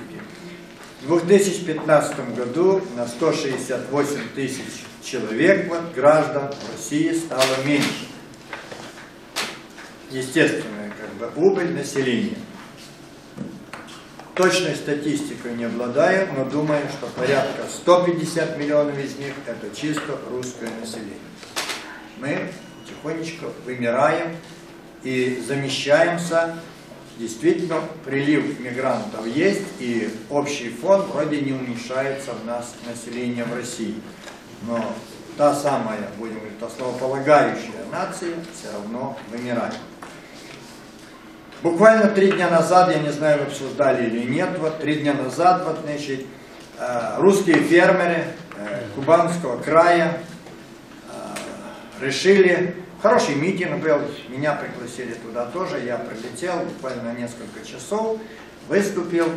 Мне вообще понравилась очень сама тема и идея, которую выстрадали эти люди э, на земле. У них никаких особых не было требований, кроме единственного – завершить земельную реформу в Российской Федерации, извечный национальную идею, наш национальный вопрос. Чтобы прекратить в конечном итоге решение земельных вопросов через голову потенциальных владельцев и самих владельцев, значит, вот, наших граждан России. Прекратить землю, чтобы не передавали иностранным гражданам и вообще иностранным странам, вот, чтобы она не уходила. На Кубани это очень остро строить, земля дорогая, плодородная, вот, значит, и люди решили, что, ну раз никто не берется этот узел разрубить, они куда не писали все эти годы, тем не менее продолжается вот, значит, вот, а, отъем земель через подставные документы, через голову владельца, вот, значит, вот, и просто возмущению край настал, они решили ехать, как они считали, как они считают, единственному человеку, с которым они считают, можно разговаривать, это с президентом. Больше, говорит, ну не с кем. Такова была мотивация митинга, они выехали, все. Нервы сдали у Устинова, полномочного представителя, естественно, всего. Почему сдали? Потому что присоединились к ним, вот, значит, фермера начали поддержать вот, а, Ростовской области. Говорят, готовилась, вот я точно знаю, но это точно было, Хоп- Хопер хотел тоже выехать, другие вот, значит, территории. Волгоградские фермера поднялись, вот, значит, вот, и нервы сдали, решили, что не допустить вот в Москву народ на прямой разговор с властью, не допустить. Вот, значит, их начали, окружили э, национальной этой. Но суть-то не в том, что окружили. Я не думаю, что эти люди уже сдадутся. 10 суток дали троим и четверым, да, на сегодняшний день, сейчас фамилии нам скинут, все это. Остальных оштрафовали, человек, наверное, 30-40 оштрафовали. Я думаю, что и дальше вот этот пресловутый отдел Э, борьба с экстремизмом будет их давить, вот кататься на семьи давить, запугивать будут и тому подобное. Но вопрос-то не решился земельной реформы таким способом никак. Мы не защитили свою землю от посягательств любых, вот, и внутренних врагов, и внешних врагов, так сказать, народных. вот, да? Поэтому надо бы добиться этого и все. Каким образом это надо было поддержать? Ну, поддержали дальнобойщики, я считаю, это очень правильно. Поддержал Омск, вот там даже вот вчера привели телят фермера к приемной президента, предложили президенту бычков в обмен, чтобы выпустил вот за этих бычков он трактористов наших. Но я скажу, это очень опасный прецедент произошел, ведь с позавчерашнего дня профессия тракторист у нас, пожалуй, запрещенная теперь профессия. А как? Страшно быть трактористом теперь. Нельзя, арестовывают, штраф дают только за то, что ты едешь на тракторе. Просто едешь, вот, ничего не, не, не предъявляешь никак. То есть вот такая ситуация. Но, знаете, если бы было не 40 тракторов, и не 20, и не это, а было бы 400, а было бы 40 тысяч, то не хватило бы никакой национальной гвардии. Я не думаю, что они бы перекидывались с Москвы, все просто бы не хватило, люди бы могли как-то решать такие вопросы. И в этом уверен я, что мы только массовостью своей, вот, поддержкой друг друга смогли бы что-то решить. Если этого не будет, будет очень трудно. Вот наше вот тоже движение Федеральный сельсовет, так сказать, на последнем э, дыхании мы пытаемся что-то сделать. Мы очень переживаем, что скоро леса станут частной собственностью тоже. Практика России показывает, что как только становится частной собственностью что-то, дерево это вырабатывает кислород. Какой же бизнесмен наш вот упустит возможность продавать кислород? И будем мы дышать тогда за деньги. Поэтому вода, леса и земля, по моему глубокому мнению, должно быть либо очень ограничено по количеству владения в одной семье, в одном человеке, либо вообще лучше запретить вот, частную собственность на такое дело. Это приведет всегда к каким-то прецедентам. Если это будет делаться снизу, рано или поздно революция. Если это делать и снизу, и сверху, можно избежать какого-то кровопролития и сделать. Но не с кем говорить, видите, не желают с народом говорить. Ну и еще бы что, еще раз повторю, что нас абсолютное большинство. Как сделать, чтобы мы это большинство перевели в качество еще и решали именно большинством все свои национальные и межнациональные и экономические и социальные вопросы. Так, как мы желаем, чтобы была честность и справедливость. На часть референдума. Василий Александрович. Согласен, спасибо. Василий Александрович, э, не услышали по поводу выборов. Да, я э, обязательно скажу. Э, Значит, я участвую в выборах. И скажу, что так оказал содействие нескольким людям с движения Федеральный сельсовет и, с, и нашим тоже вот да, чуть-чуть оказали, что смогли. Мы зарегистрировали человек 12 в общей сложности, если. И в Перми наши ребята пошли, и вот там. Э, мое мнение такое, что ну, можно назвать это по-другому. Хитростью, троянского коня запустить туда или еще чего-то. Я не вижу зазорности в том, что если бы вдруг пробились и получили мандат хотя бы не просто говорить, а действовать. Более того, я заверяю многих своих и соратников, и противников, и всех, что ничего, стану депутатом, Дума будет по-другому работать и по-другому будем говорить. Путин будет ходить на заседание через день туда. Потому что все законы принимает Государственная Дума. Как бы мы не кивали на правительство, как бы нет, все ссылаются на закон. А законы у нас принимает Государственная Дума. И поэтому, если уж землю отняли, то это по закону, который приняли депутаты. Если уж воду нам продают или другим, это тоже на- наши депутаты. Если лекарства подорожали, это тоже депутаты вот сделали. Поэтому Дума это основополагающий закон, верховная власть как бы. Все остальное уже отсюда исходит.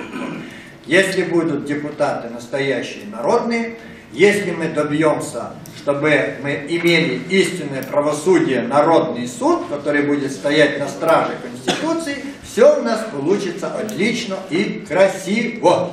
Мы мужики, нам все по плечу и не по барабану. За это время успели э, в РНФ выпустить более э, 100, 115 демотиваторов. И вот просто э, для понимания того, э, насколько э, хитер враг, э, значит, э, ци- ци- цитирую, значит, Папарнас, в период Талмуда это предводитель, глава общины, позднее каждая из группы лиц, избираемой общиной Кагалом, для заботы о ее материальных нуждах и для представительства перед властями. Это цитата из электронной еврейской энциклопедии. Значит, э, ну, очень ну, так, сконцентрирован именно на Парнасе. Да, значит, э, э, Па- Парнас себя позиционирует как партия, продолжение партии Народные Свободы или вот дореволюционной партии кадетов. Значит, из докладной э, военного агента Генштаба Российской империи полковника Ничволодова 1 декабря 1906 года, совершенно секретно. Все нити нашей революции сосредоточены в иудейско-масонских руках, что э, из наших общественных деятелей некоторые находятся в несомненной связи с масонами и с главным раввином Парижа, что бывший... Извини, пожалуйста, давайте договорились Да. мы по пять минут рассказывать. Я напоминаю, вам напоминаю, о плане Далиса, который э, наш президент выполняет неукоснительно до запятой. И если вы предлагаете запустить барашиков стада волков сионистских, вот, и значит барашек это что-то сможет сделать и понадеяться не быть съеденным, это глупо, извините. А что, волка не запустить туда? Волка не запустить. Так, Сионистский следующий штат вопрос. стада волков не запустить. Пожалуйста, следующий. Юрий Александрович, есть? Кто, есть у кого реплика на эту часть? Поднимите руку, кого я. Ну, есть у кого реплика А что реплика? Какая реплика? Все равно, все, все эти законы это всего лишь правила поведения. Есть только физические законы природы. А правило политическое это право сильного. У нас есть сила? Есть? Набрали силу?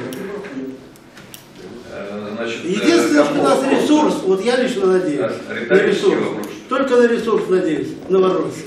Все, проект Новороссия, он не, Хорошо. он не провален. Э, У кого есть еще реплика с той стороны? Нет. По, по поводу того, что вот э, наш народный депутат, если он изберется, будет, э, Путин будет каждый день ходить на ваши заседания. Они вам выделят отдельного Путина.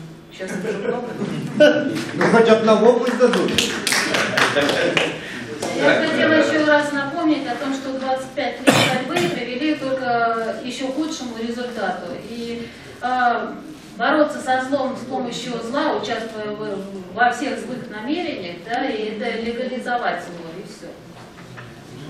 Еще раз хотел я констатировать тот факт, что тех, кого мы приглашали, они не явились не потому, что были ненадлежащим образом извещены, а потому что у них нечего им сказать, и они боятся патологических дискуссий. Они только привыкли к различным монологическим речам на первых, вторых каналах, что их не перебивают, их слушают, и они чревовещают и благовествуют. Ну так будет не всегда, потому что все равно русский народ в лице его лучших представителей придет к власти, и мы каждому воздадим по заслугам. Спасибо. Вот я сейчас вернулся с передовой, да, нас сняли с выборов. И говорю, ребята, вот я, извините, продул свою часть. Ну не продул, а нам не удалось прорваться. Поэтому идем по вашему, по референдуму. Давайте, начинаем. Где он? Где ваш референдум? Где у нас вот эти вот альтернативные выборы? Где общины созданные везде? Нету их. Вот вы сейчас говорите, что нет этим, ну вот, нет выборов. Ну и что? И тишина. Я хоть что-то там сделал. Здесь ничего Кирилла нет. Барбаша посадили. Тишина, да, все. Коллеги, у нас Матросская. Конечно, тишина матросская. Матросская тишина. Все. О чем вы говорите? Только предло- предложу, меня то, что сразу воду спрячут. Ну, Секундочку. Туда же заб- Я вот так стучить, и все. Значит, ну, Давайте я- к либералам стучать. Я вот Те, внимательно всех э, слушал и э, записывал за каждым. Да? Из, 18, из 18 человек, выступивших сегодня, 12 э, высказались за игнорирование этих выборов, поскольку выборы фальшивые, постановочные и имитационные. Только 6 человек высказались за. Поэтому я делаю вывод, что 70% населения России, в том числе 70% присутствующих в этом зале, против, этих фальшив, против этой фальшивки и постановки. И сегодня, друзья мои, мы, э, наблюдаем, что с 91 года мы все находились в темноте. Мы все страдали, и Россия страдала больше, чем мы. И сегодня э, э, вот это голосование, вот это высказывание подтверждает мое мнение, что сегодня необходим переход к традиционной системе ценностей, к религиозной системе ценностей, к морали, к совести, когда младший уважает старших, когда братья заботятся о сестрах. Поднятие уровня нашей жизнеспособности, обращение к Богу, значит, э, э, имму- э, иммунитет культурный, иммунитет э, потенциальный приведет нас к духовному возрождению, к культурному э, значит, просвещению. И это как раз приведет нас к победе. Я вижу вот в сегодняшней э, значит, пропорции 70%. Это яркий свет, который разобьет ту тьму, в которой мы прошу находимся с прощения. 91 года. Спасибо. Я заставил нашу власть, какая бы она ни была, 22% бюджета отдавать на образование. Я возглавлял комиссию по образованию. Они сделали это, потому что у всех есть дети. Я знал, на какие кнопки нажать, чтобы они повернулись в нужную сторону. Не по карманам рассовали эти деньги, а отдали детям. Поэтому, еще раз, лучше сделать и жалеть, чем не сделать и жалеть. И поэтому э, нужен нам результат. На чем-то консолидировать людей. Консолидировать на протесте, да. Вот этих нельзя. Консолидировать на том, что наши пошли. Давайте 5 человек, 5-7 продержим, поддержим и так далее. Но не делать ничего. Просто сидеть и делать из себя таких э, честных. И дожидаться, когда кризис ударит, вот тогда-то мы и возглавим. С моей точки зрения, безнравственно. Мы прозеваем главное, нельзя. Что-то надо делать. Спасибо. Вы сделали насчет образования, поэтому его уничтожили. Что нас, нам дают э, как бы такую, ну, нам дают импульс для того, чтобы мы участвовали, все уговаривают нас и так далее. Так, это называется, ну, как бы доминанта, которая фактически, значит, означает перекачивание сил живого существа, каждого из нас, вот на эти самые выборы там и так далее, загоняет нас в стадо, этот традиционный путь и так далее. Но все это понятно. И таким образом мы как бы лишаем себя возможности э, к, э, к поиску другого варианта. Вот это очень важный момент. Вот. Загрузить человека чем-то ненужным, так? И тогда он не станет сопротивляться. Вот это такой момент. Ну и второе, я хотел бы поблагодарить просто вот Василия Александровича и Боброву, которая ушла, за то, что они, как представители вот именно ну, участников этой выборной системы, пришли сюда. Ну, хотелось бы, конечно, вот да, как, ну, как бы оппоненты вот, в основной массе. Вот. И, ну, хотелось бы, конечно, от Василия Александровича услышать, да, услышать какие-то конкретные доводы в пользу этой выборной системы. Вот прям буквально. Да, просто скажу одну минуту. Да, Э, Три короткие реплики. Первое. Сюда не пришли представители партий, которые будут в Думе по одной простой причине. Они на нас смотрят примерно так же, как пассажиры паровоза, которые проезжают мимо полус- полустанка, а там с ним машут, типа, остановитесь, мы хотите поговорить, мы хотим поговорить. Типа, они с нами не едут, что с ними разговаривать? Они нас не боятся, они нас просто не видят в упор. Второе, вторая реплика у меня только что было сказано, что про 22% образования. Ну, я это примерно оцениваю, извините за грубость, что спасибо за то, что лакея отдели на 22% длиннее ему, а хламиду или что там, ливреи. Это примерно так выглядит. На общей ситуации это никак не отразилось, что вы вышибли эти 22%. И третья реплика у меня по поводу, более конкретная, по поводу э, протестов э, фермеров. Я попросил еще позавчера Максима Калашникова связаться с лидерами, да, с вами. И нам бы хотелось на самом деле услышать от вас, поскольку вот это сейчас живое реальное дело, как бы мы могли вас поддержать. И мы конкретно, э, структура, которую я возглавляю, я единственное, что смог, это на своей странице немедленно разместил ссылку. Все, спасибо. Уважаемые коллеги, спасибо всем. Я, я хочу э, ответить э, на то, что мы делаем и то, что мы сделали. Сегодняшняя власть живет по системе, которая была выработана в 1993 году представителями Центрального разведывательного управления, Пентагоном и так далее, экспертами, которые готовили нашу Конституцию. И наша Конституция, а я был э, э, координатором четвертой группы конституционного совещания и знаю это достаточно хорошо, была сделана очень неплохо. Но переработка ее была в течение недели сделана Шахраем под их руководством. Что мы получили, вы видите на руках. Так вот, э, как, по какому закону страны должна жить, должны жить люди? Вот это один из основных вопросов. А По какому закону страны должны выбираться люди? Это один из основных вопросов. Как мы будем э, поднимать свою экономику? Все это мы прорабатывали, все это есть. Есть и в ПДС, есть и в политических партиях, есть и в РНР.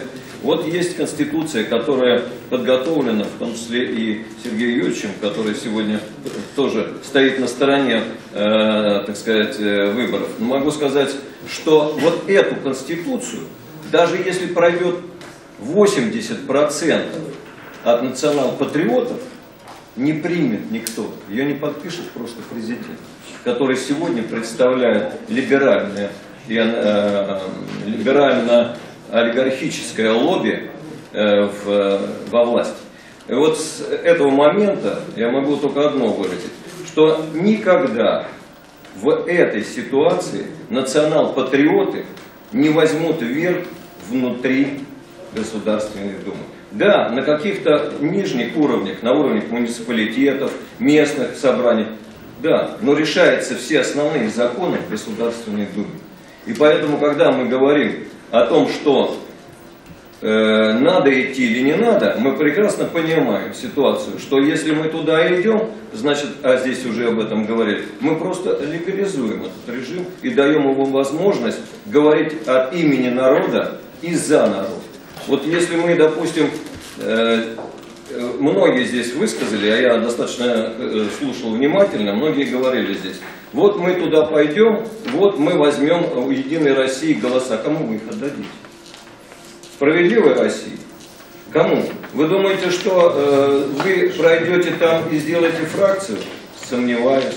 Вот Андрей Николаевич, живой пример, прекрасно знает, что это такое фракция и каким образом она формируется. И э, э, если даже пройдет одномандатник, что они, в общем-то, на сегодняшний день решили поиграть в эту игру, что одномандатники будут от народа. Да не будут они от народа, поскольку сегодня те одномандатники, которые идут в Государственную Думу, это та же креатура, извините, Кремля.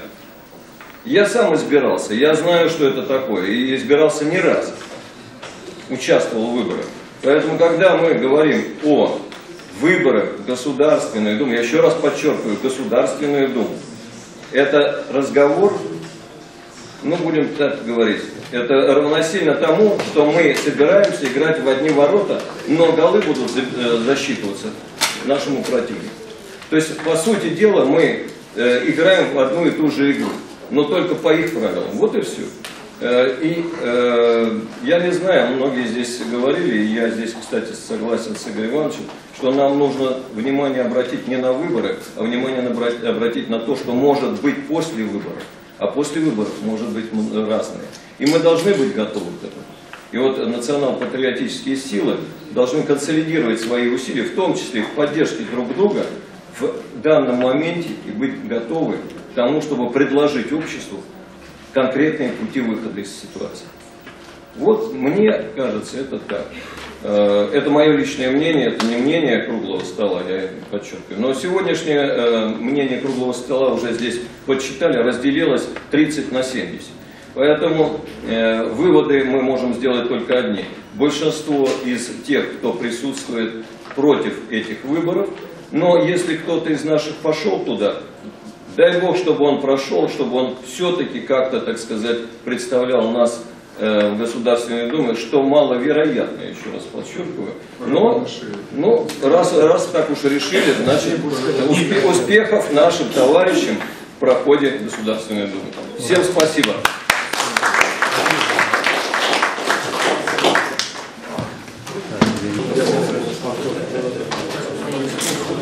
Я-то точно знаю, что я один могу